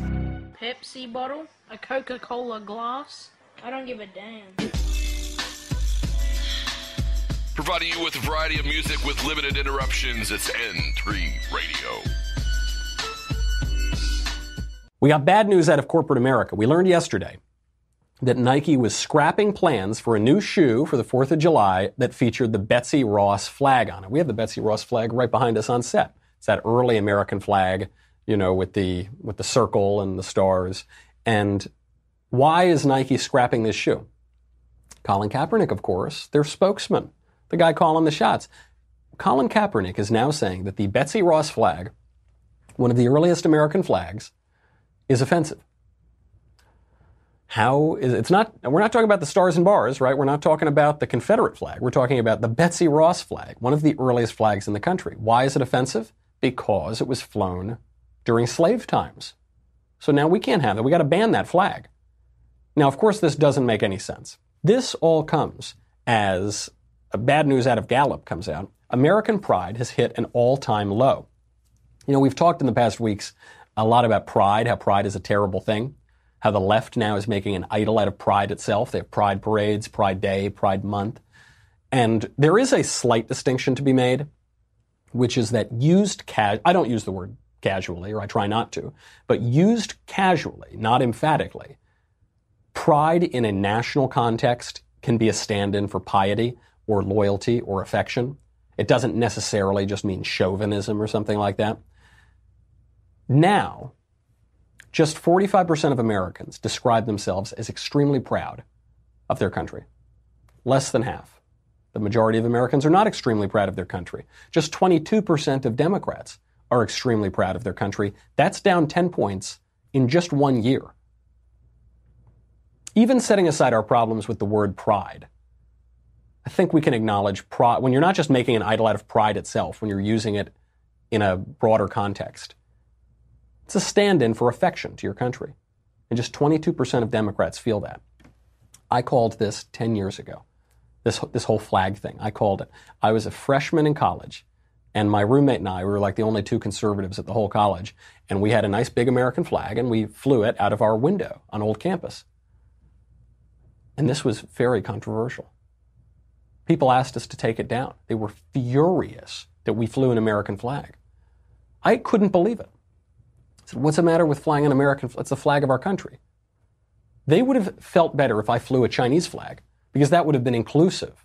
That's not inclusive, obviously. It's one of the worst regimes in the history of the world.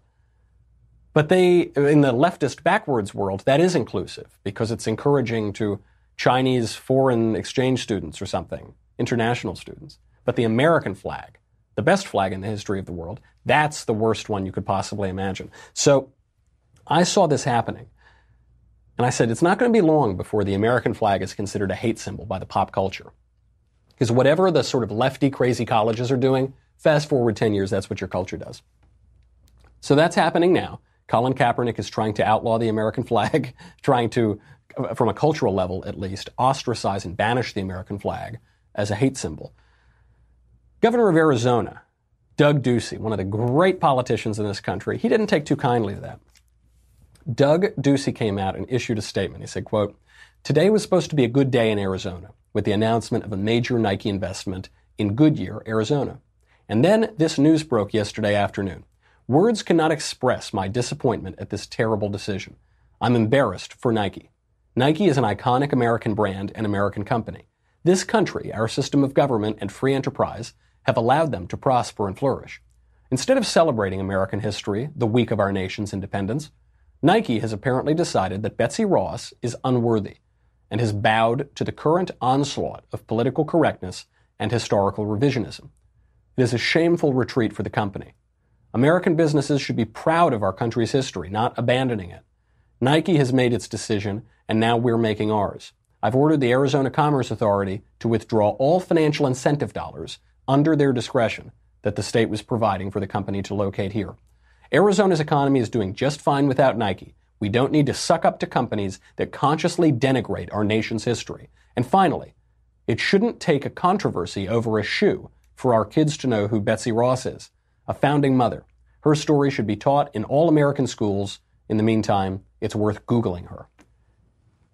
Excellent response. Absolutely beautiful totally gets it right. What's going on, everyone? Jeremy here from the quartering, and you know what? I'm going to do two more videos today because screw it. Uh, there's a lot going on in the video games world, and uh, I've kind of got a lot on my mind today.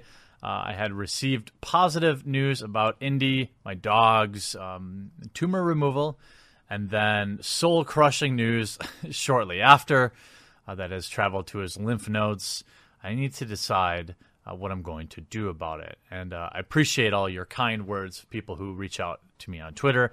But the best thing for me to do is talk about video games and roast people because it keeps my mind off other things. So we've got this video of Dr. Disrespect most one of the most popular streamers on Twitch, totally roasting Kotaku.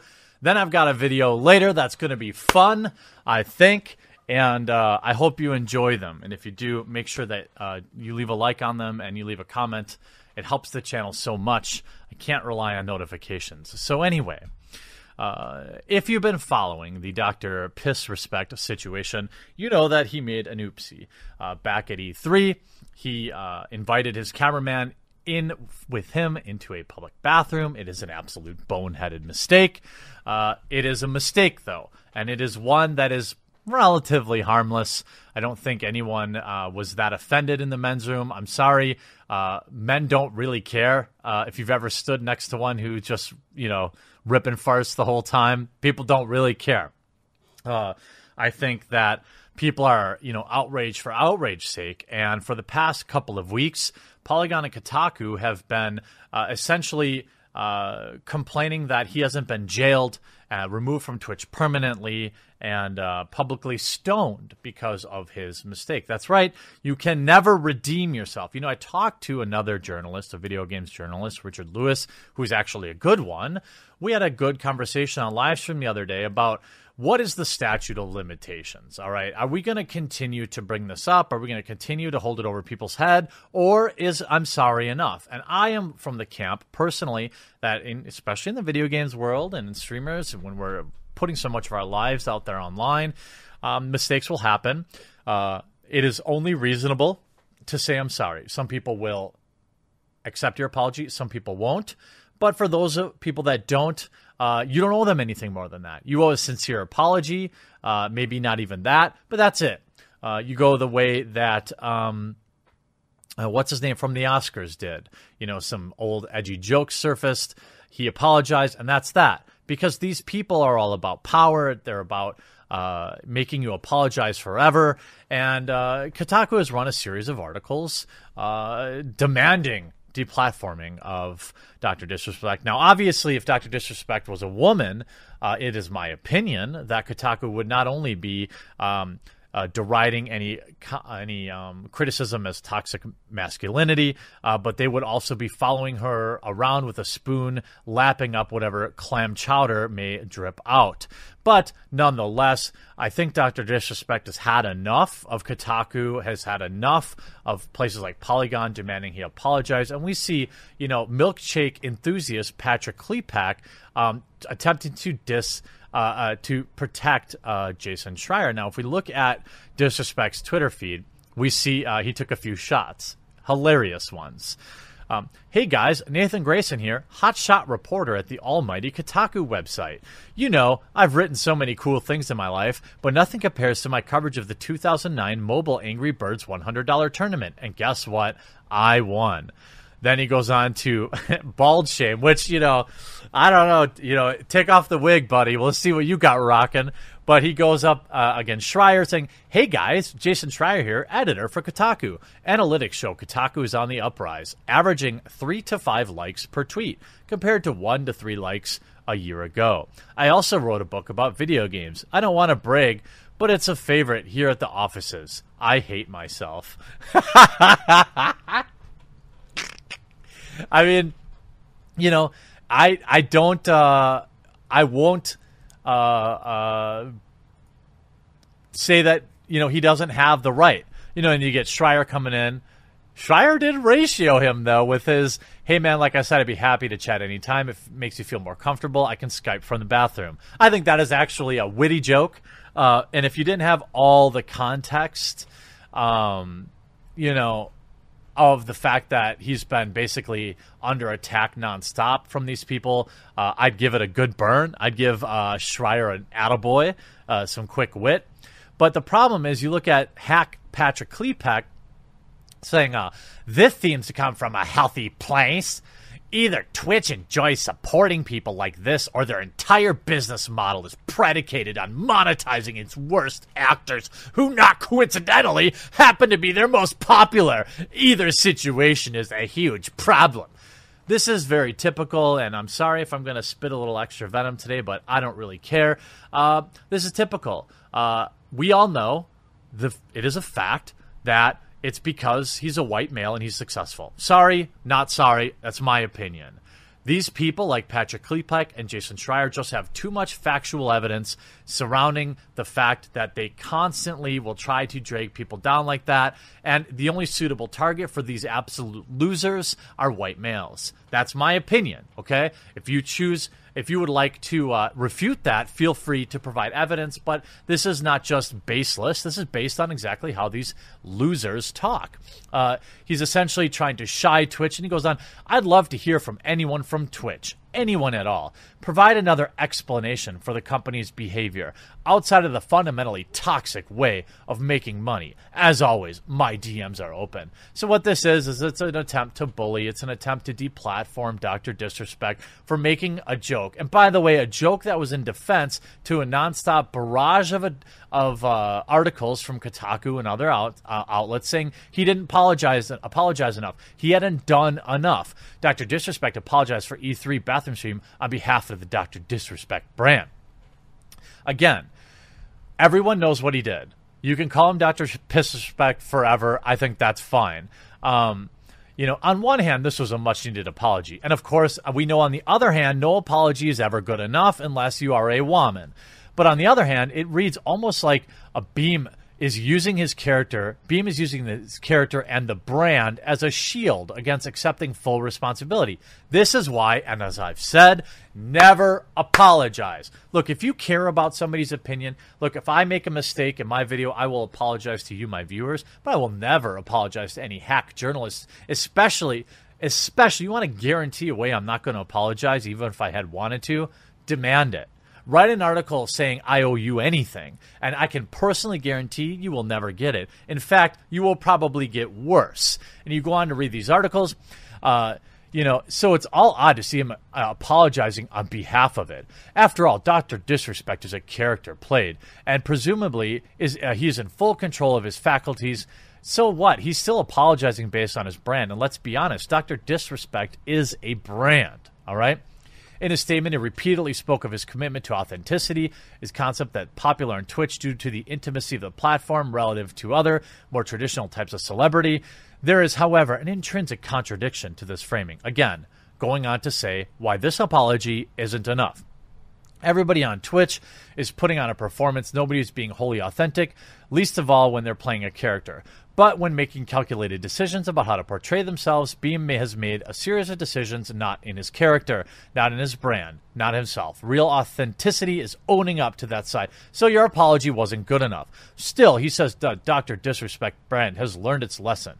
We learn, become stronger, and I move forward. He wrote, "If you follow the brand or myself, I hope you can ta- can stay with me." By the way, none of his fans care. I don't care, and I'm not a fan. I've never watched a single Doctor Disrespect stream. I don't watch Twitch streamers, maybe Asmongold once in a while, but you can see Kotaku endless articles. Two weeks after suspending live stream, Twitch restores his channel.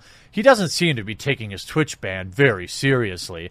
Popular streamers react to his ban. I mean, This is this is Kotaku fully monetizing it. And here we have again Nathan Grayson. Your apology isn't good enough for me. Continue to apologize until I'm satisfied. You know what? These people, you owe them nothing. If you're a fan of Dr. Disrespect, I hope that you'll uh, take You'll share my recommendation with him as I've interacted with these absolute morally bankrupt losers for a very long time in the video game industry. He owes them nothing. He owes his fans, his owes his fans an apology for making a mistake. I'll agree to that. But he owes nothing after that. You apologize, you do your time, it's over. You can't continue to hold stuff over people's heads forever and ever unless they continue to make mistakes, I suppose. Then you can maybe remind them of it. But this again is a website that has run endless articles who don't like, you know, they wanted they wanted him banned forever. Let's be very, very clear. All right, he made a stupid mistake. I think a two week suspension is relatively reasonable when we've got endless nip slips and, and lingerie try on hauls and all sorts of stuff like that going on on Twitch. Anyway, let's be real. There was no, you know, there was no d- danglers flopping out. There was nothing like that. It was an idiot. It was stupid. And that was it, right? He apologized. That's it. Dr. Disrespect had also used his mandatory off time to create new Twitch emotes of him peeking from a bathroom stall. I'm sure they'll get plenty of use when he inevitably returns to Twitch in the coming days or weeks. After streamers reach a certain level of magnitude on Twitch, suspensions and bans only turn them into bigger stars, a, ph- a phenomenon Doc himself is already very familiar with. Again, what do you want? Do you want to ban him for life? I mean, there are all sorts of streamers that have been banned millions of times. Look at Destiny. How many times has he been banned from Twitch?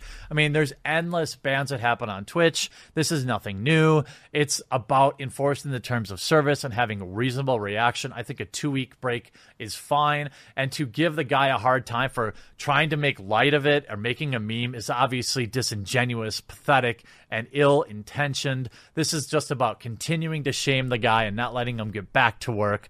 Sorry, Kotaku. Nobody cares about your opinion, and nobody owes you or anyone that works for you anything.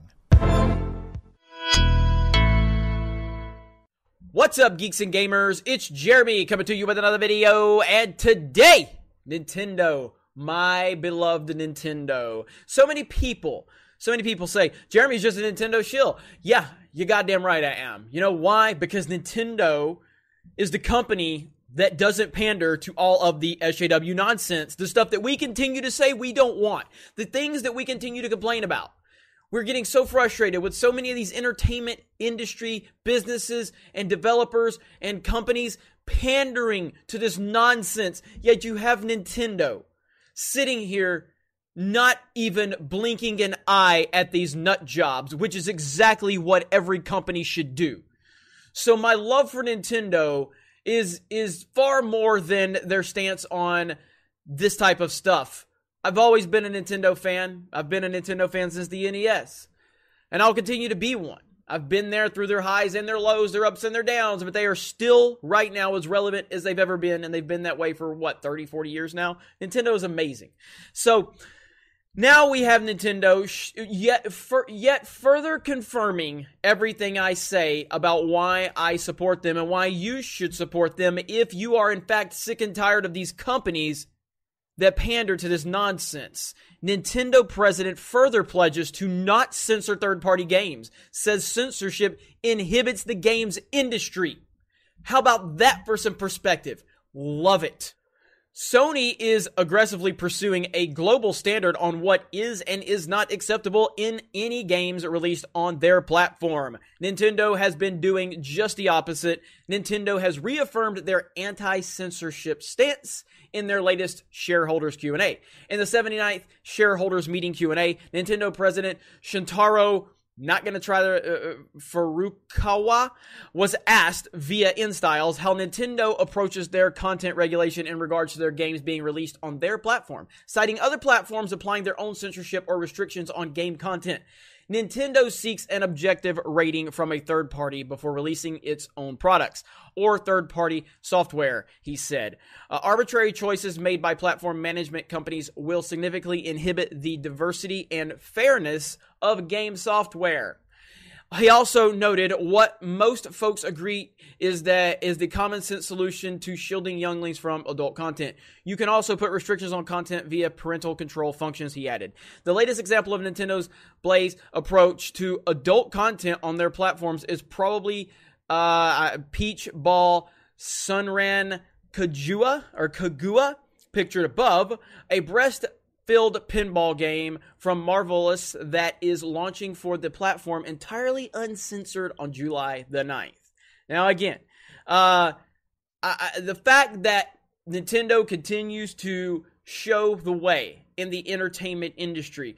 Again, I get it. Nintendo is a little aloof sometimes. Nintendo is a little out there. Sometimes some of their decisions, you're like scratching your head and you're like, what are they doing?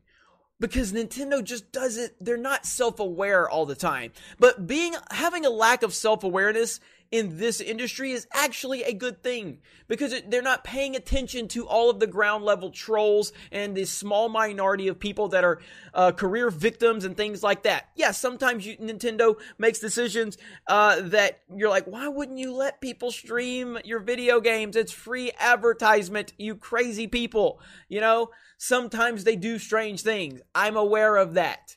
Go back to the Wii U, all time terrible marketing decision And it was because they had such a lack of self awareness and probably some arrogance with the success of the Wii. Because the Wii sold over 100 million copies. So in Nintendo's mind, they're like, oh, 100 million copies. It, it set the world on fire. Okay, let's just come out with the Wii U, and everybody that bought the Wii is going to buy the Wii U. No, Nintendo, not that's not that's not what was going to happen. And if you would have had any kind of self awareness, you would have realized that 80% of people that bought the Wii were not gamers. They were kind of like families and retirement homes and all this shit. You know what I mean? It was a very, very casual system. And you look at the market that they flooded the market with all these family friendly garbage titles, and it flooded the Wii. Where there were some great games on the Wii, but unfortunately, you go into a GameStop or something like that, you look on the wall, and all you see is this motion controlled nonsense. So when they moved to the Wii U, it completely failed because Nintendo had such a lack of self awareness. So this is a good thing and a bad thing for them to have, but ultimately it keeps their head out of the nonsense that so many of these companies are paying attention to. They don't care if you're offended. They don't care about these people walking around with pink pussy hats, crying and being victims. They don't care. They don't pay attention to this stuff. It doesn't matter to them. What they care about is their intellectual property. What they care about is putting a good product forward for their customers and making sure that they are keeping the basic values of that IP in place. That's it. You don't get half made games with Nintendo that's completed by overpriced DLC. What you get is a complete game by Nintendo with very cheap DLC that not it doesn't complete the game when it comes out. It adds to an already complete game. So everything that I hear people complain about in the gaming industry, it's not something Nintendo is doing. Nintendo does it the right way. Yes, they have some self awareness issues, but those things don't matter at the end of the day. Their first party titles are phenomenal. No Nintendo fan is disappointed by the first party Nintendo titles. None. At all. They're just not. Is Nintendo perfect? Absolutely not. They're not perfect. Nobody's perfect. No company's perfect. I don't know why I have to answer that question. But with these situations, we need to highlight this. We need to bring light of this because it needs attention. We focus on a lot of the negativity that these companies are doing, and that's perfectly fine and acceptable. And I will continue to do that.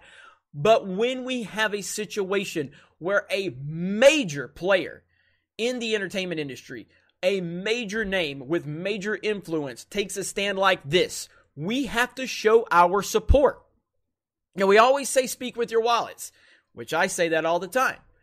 I own a Nintendo Switch. I own a 3DS, even though I don't even play handheld games. I own a 3DS and a few games just because I wanted to have it because I like Nintendo. I support Nintendo. I always buy Nintendo products.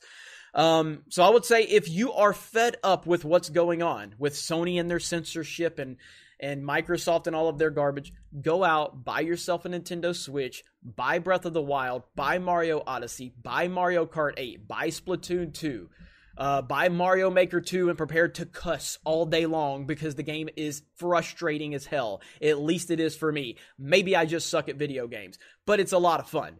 It is effing hard. It is very difficult. It is very frustrating, but it's very fun.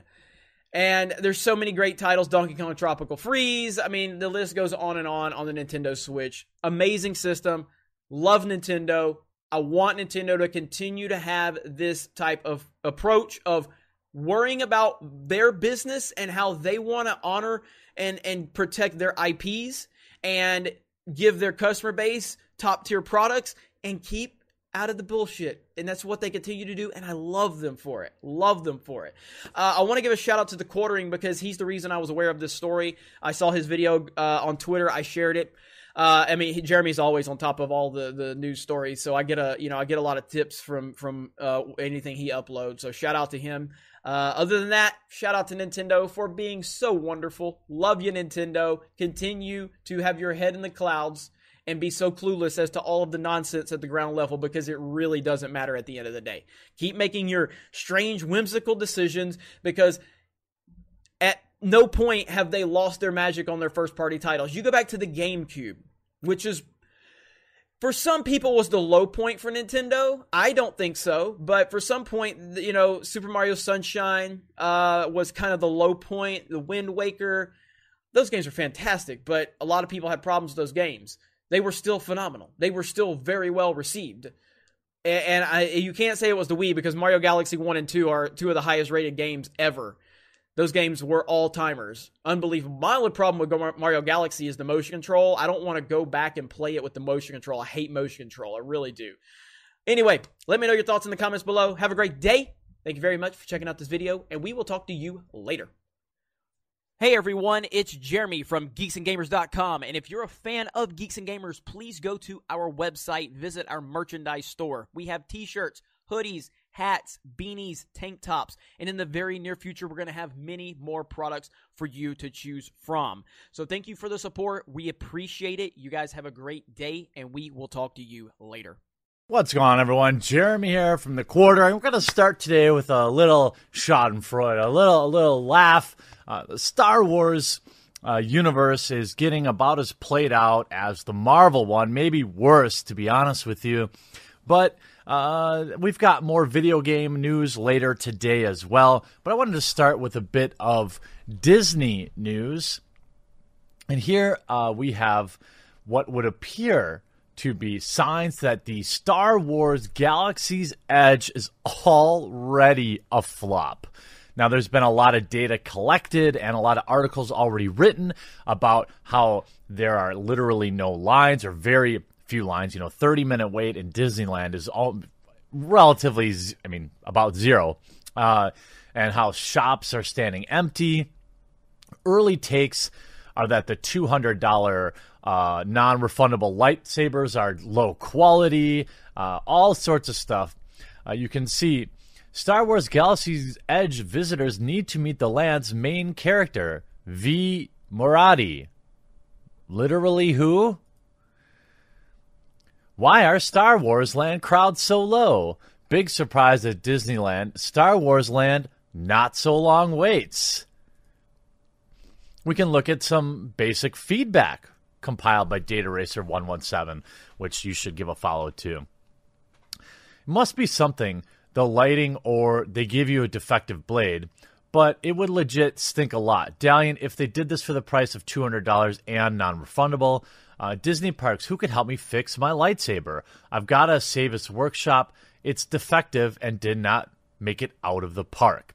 Something must be wrong with my lightsaber. The colors appear more red and tube flickers regularly when lit. These are $200, by the way.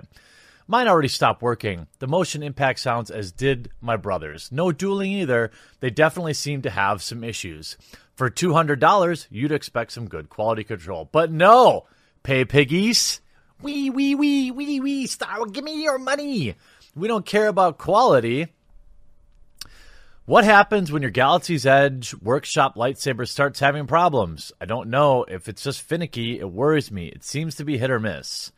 So we see lots of uh, bad PR in terms of um, the quality of product. One of the uh, biggest draws would be the build your own lightsaber experience. While some people talked about you know, it was a cool experience. The whole building process was 10 to 15 minutes. The presentation was cool.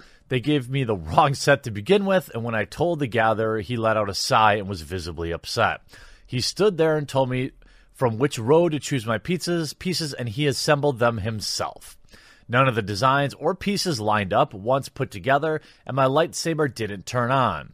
Pretty disappointed overall as I spent $215 on this. By the way, you got to pay to get in the park, too. The experience was advertising as something, quote, spiritual or something along those lines. Felt rushed like I was annoying the dude helping me. Overall, I'd still recommend doing it. But come on, fandom! Have some spine! You got a horrible experience, a low quality product that you paid an ex- exorbitant amount of money, and you're still defending the franchise. Stop giving them your money.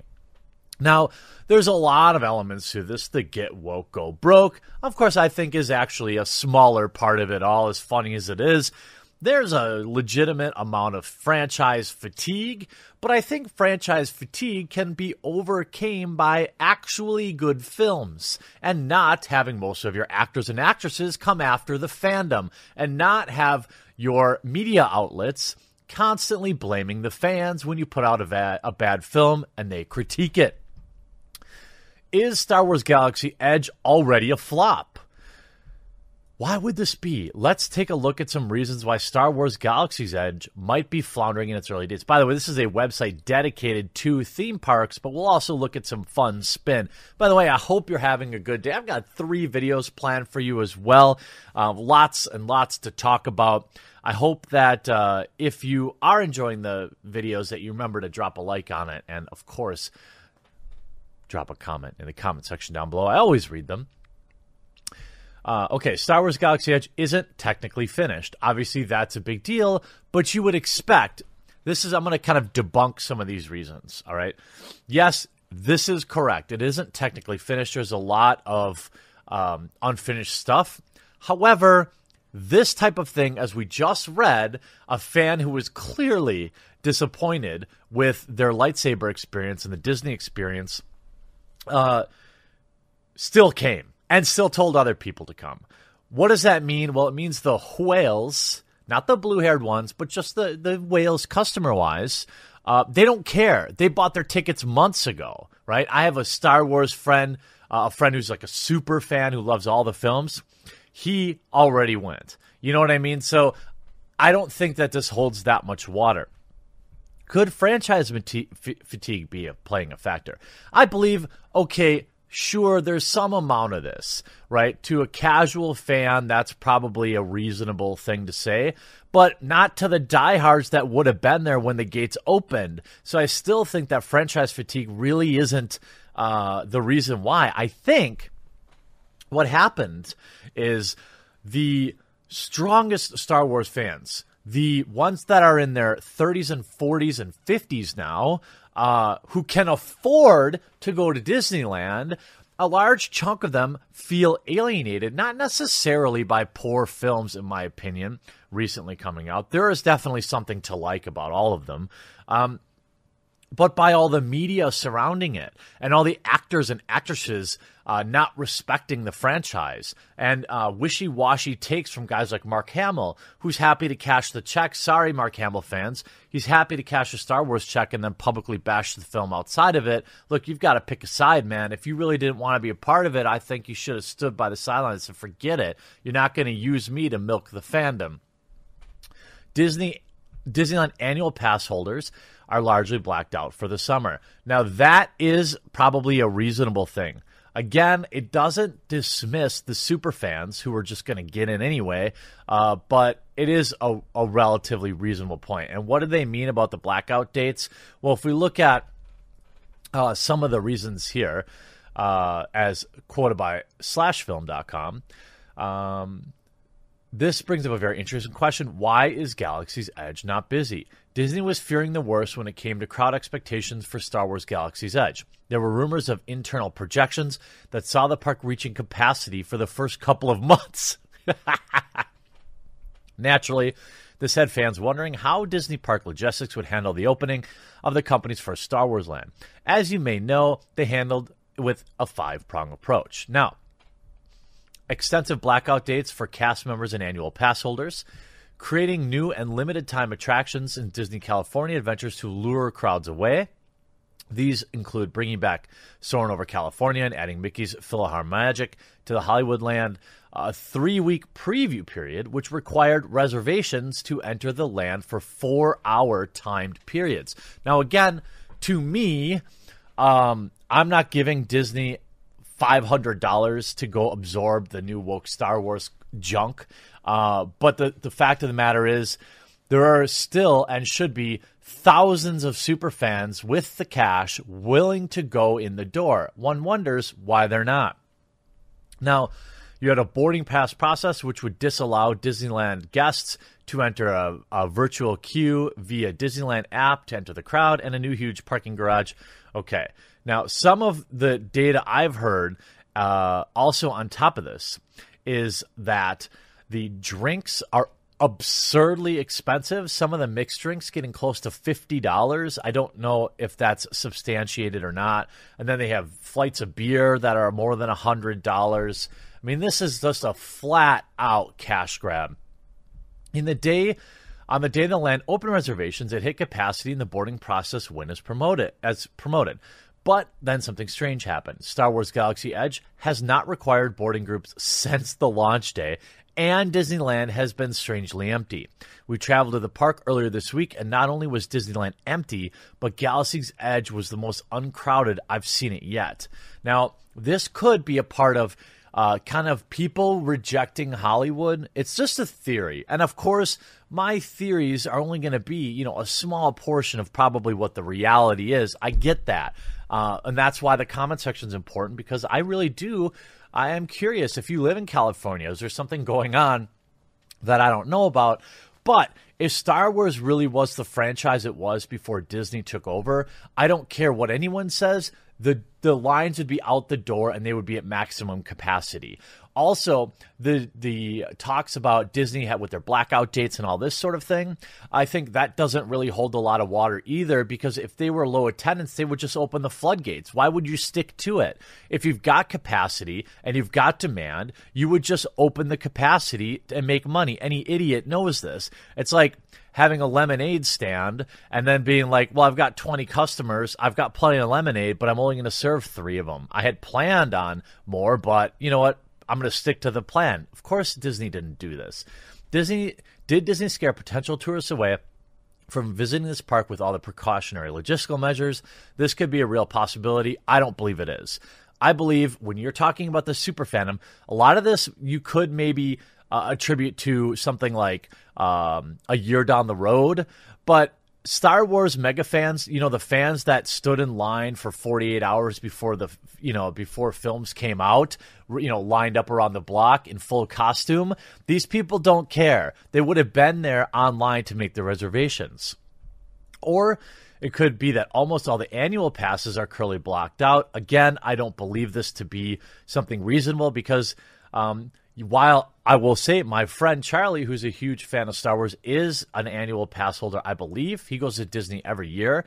Um, if you wanted to go, you would just buy a ticket. I mean, how many Disney people are only annual pass? I suppose in California proper, you probably have a lot of them. That could be part of it. These are all probably relatively small things. Now, Corby, aside from the Signature and Signature Plus and the top two of the uh, top two of the line passes. It's worth noting that Disney has since changed their course and told cast members they are no longer black. Oh, okay. See, exactly. Right. Aside from July 4th, in addition to that, Disneyland sent an email to annual pass holders announcing a new summertime deal that would allow them. Okay, exactly what I said they would do, they did it. So, but the real question is, why are people staying away? Disneyland is notoriously more of a local park. Unlike Walt Disney World in Florida, that's probably fair. Anaheim is filled with local annual pass holders, so maybe blocking all the lower and mid tier passes along cast member access is to blame. It seems very likely to me this is the best answer as rides from Disneyland as Disney California Adventure have had the shortest standby lines I've ever seen. For example, that the massive massively popular Radiator Springs Racers had a 10 to 15 minute wait uh, the other day. So in general, I think you have not enough reason for super fans to go attend it. Uh, but also, the park itself it just isn't that busy, uh, which is an interesting thing. We talk about the money. The other interesting aspect is that it's clear Disneyland underestimated fan demand of exclusive products being offered in Batuu. Uh, when I visited Wednesday, a lot of stuff was sold out. The list includes half of the legacy lightsabers, all of the Kyber crystals. At Droid Depot, you can build your own droid. They are completely sold out. At uh, Oga's Cantina, the $75 beer flight collectible with four Rancor tooth glass, Rancor tooth glasses is sold out. This is brutal. I don't think you would know this going in, though. If you were planning to go to Star Wars Land, Galaxy's Edge, you probably wouldn't know that, oh, it's sold out. And you probably wouldn't say, oh, well, it's sold out. I'm not going. If you made plans to go, you made plans to go. The fact that there's a $75 beer flight is absurd. Uh, to make up for that, Disney's begun selling extra lightsaber pieces uh, from Savi's for $20, something that wasn't offered until this week. Also, the Droid Depot is now selling extra droid pieces for the same price. I guess if they have stock of something in the back room, why not sell it? During the reservation period, Oga's Cantina and Savi's workshop, building a lightsaber experience, would both hit capacity within minutes of reservation period opening. There were a lot of complaints from fans who weren't able to do either of the premium experiences. Those who got into the cantina were often found complaining about the long lines in the sun, the unfriendly cast members serving the drinks, and packed with uncomfortable quarters. Now you can easily get a reservation for the cantina and the app, and the bar seems a lot less full. That might be bad for Disney, but it's a more comfortable user experience. Well, I am a firm believer that if they're going to deliver subpar quality, which is what we see uh, they've done, at least with the lightsabers, poor planning in terms of running out of all the coolest stuff. And you have cast members and the media constantly um, making it about the fandom and not the product that Disney's delivering. I'm not surprised we may be on the verge of another get woke, go broke scenario. I do hope you enjoyed this video, though. We'll talk to you again real soon. All right, everybody, I have great news. I have just the best news you will get all day, and I am so excited to be sharing this with you. Brie Larson, as Captain Marvel, will be appearing in at least five more MCU movies. I know, I know. Super great news. I know that that's news that we've all been waiting to hear. We are all very excited to hear that. So, um, yeah, sarcasm abounds. So, uh, we have here an article Brie Larson will appear in at least five more MCU movies.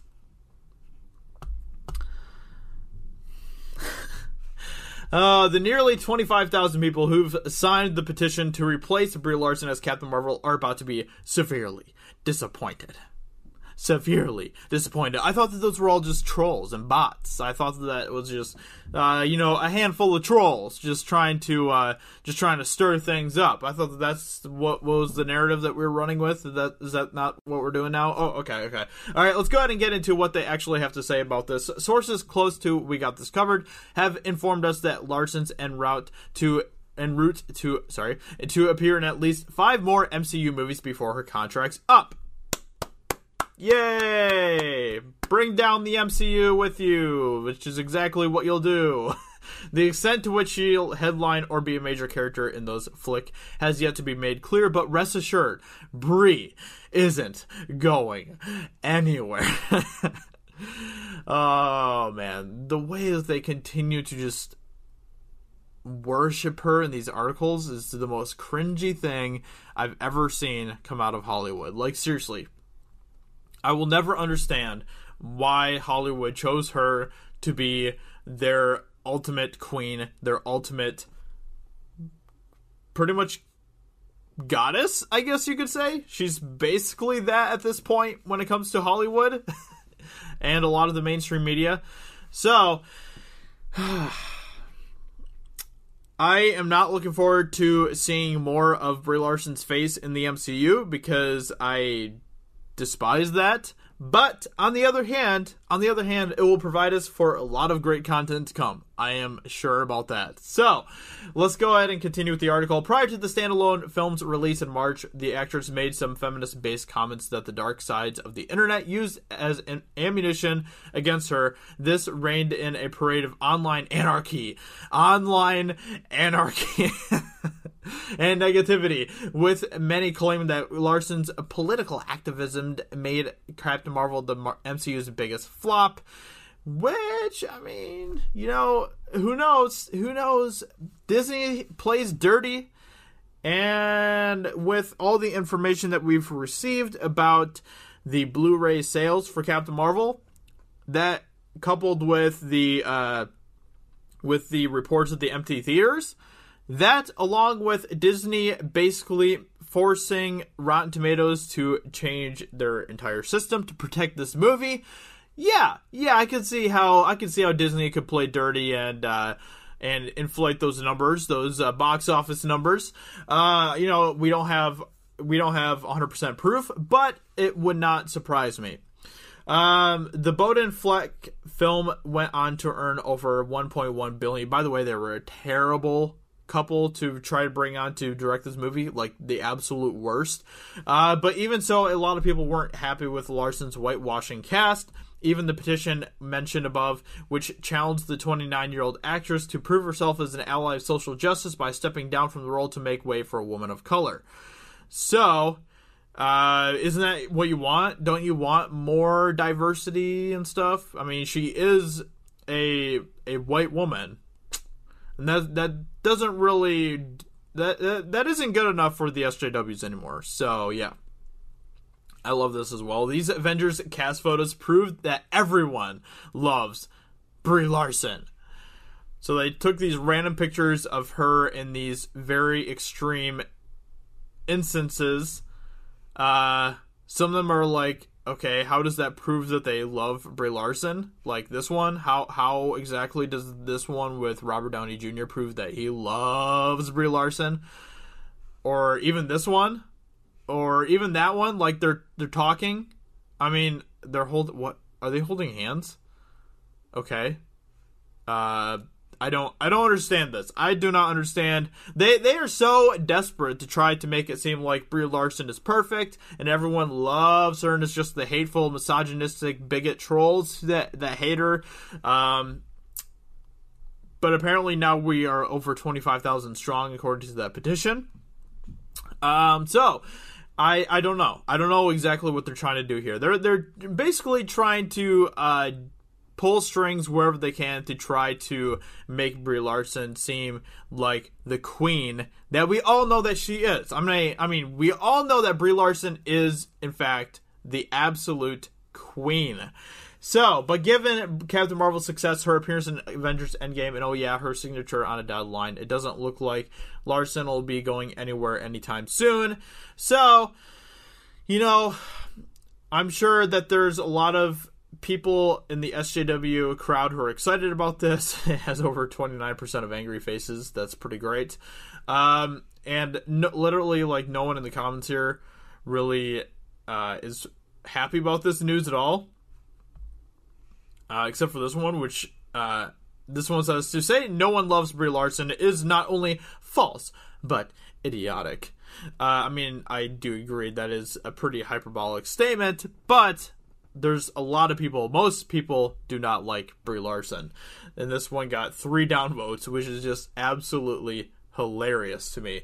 So, um, yeah, this whole thing is ridiculous. I am not excited about this at all. I am not excited about Brie Larson being in the MCU. I think that she should just be cut. I think she should she should just be gone. She should be gone from the MCU completely. I think that would be the best direction for Marvel moving forward. Uh, I do love the fact that they are kind of changing the narrative a little bit. With uh, it seems like Tom Holland Peter Parker is going to be uh, more so the the Iron Man moving forward uh, with with the MCU, which is a good move. I think. I think that that's a lot more that he has he deserves that a lot more than uh, Captain Marvel does. So I think that's great. But let me know in the comments below what do you think about this news? What do you think about Brie Larson being in at least five more Marvel movies? I mean, everyone loves Brie Larson. Everyone loves Brie Larson. So with that being said, let me know in the comments below what you think. And I think this is pretty appropriate for this video. Uh, thank you for thank you very much for watching this video, and I will talk to you all very soon in another video. Talk to you later. Hey everyone, it's Jeremy from geeksandgamers.com. And if you're a fan of Geeks and Gamers, please go to our website, visit our merchandise store. We have t shirts, hoodies, hats, beanies, tank tops, and in the very near future, we're going to have many more products for you to choose from. So thank you for the support. We appreciate it. You guys have a great day, and we will talk to you later.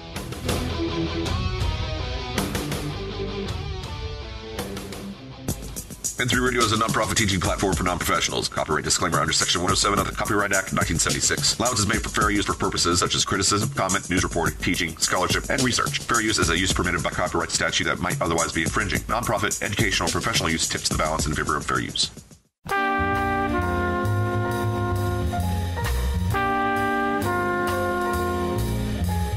The Jazzlands, only here on N3 Radio. RC brings you the best in past and present jazz music.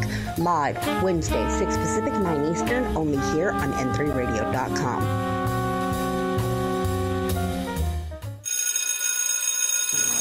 Hey, did you see that post online about Julie? I totally wrote it. Wasn't it hilarious? Is all of that true? Who cares? She's dumb anyways. Are you talking about that post about Julie? Yeah, funny, right? No, but that post about you was.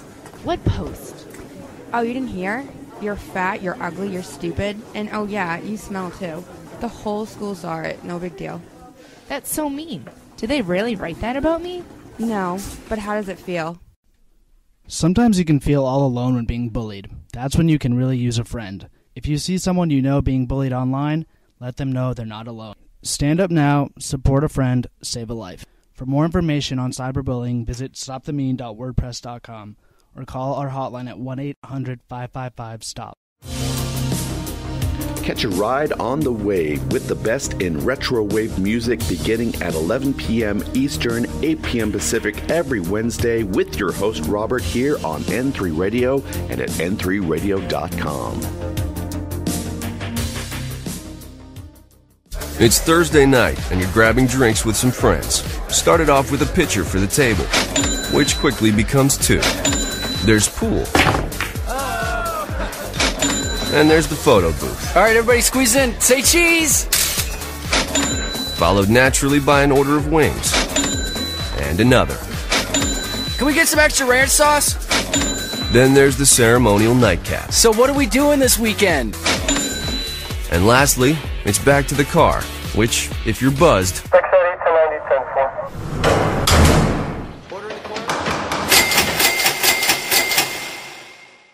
could be the most expensive night of your life.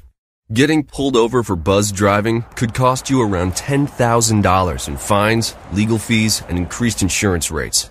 Nothing kills a buzz like getting pulled over for buzz driving, because buzz driving is drunk driving. Brought to you by the National Highway Traffic Safety Administration and the Ad Council. In the club, rock and roll and bang your head with me. Rock and roll and bang your head with me. Bang Your Head. DJ Kenny Star brings you the best mixes of hip hop and rap just like back in the club. Starting every day live, 12 midnight Eastern, 9 Pacific, only here on n3radio.com. Tune in. I'm in the club rocking out to a guitar. Bet you Is it possible the two youths, Uh, uh, to what? Uh, what was that word? uh, what word? To what? What?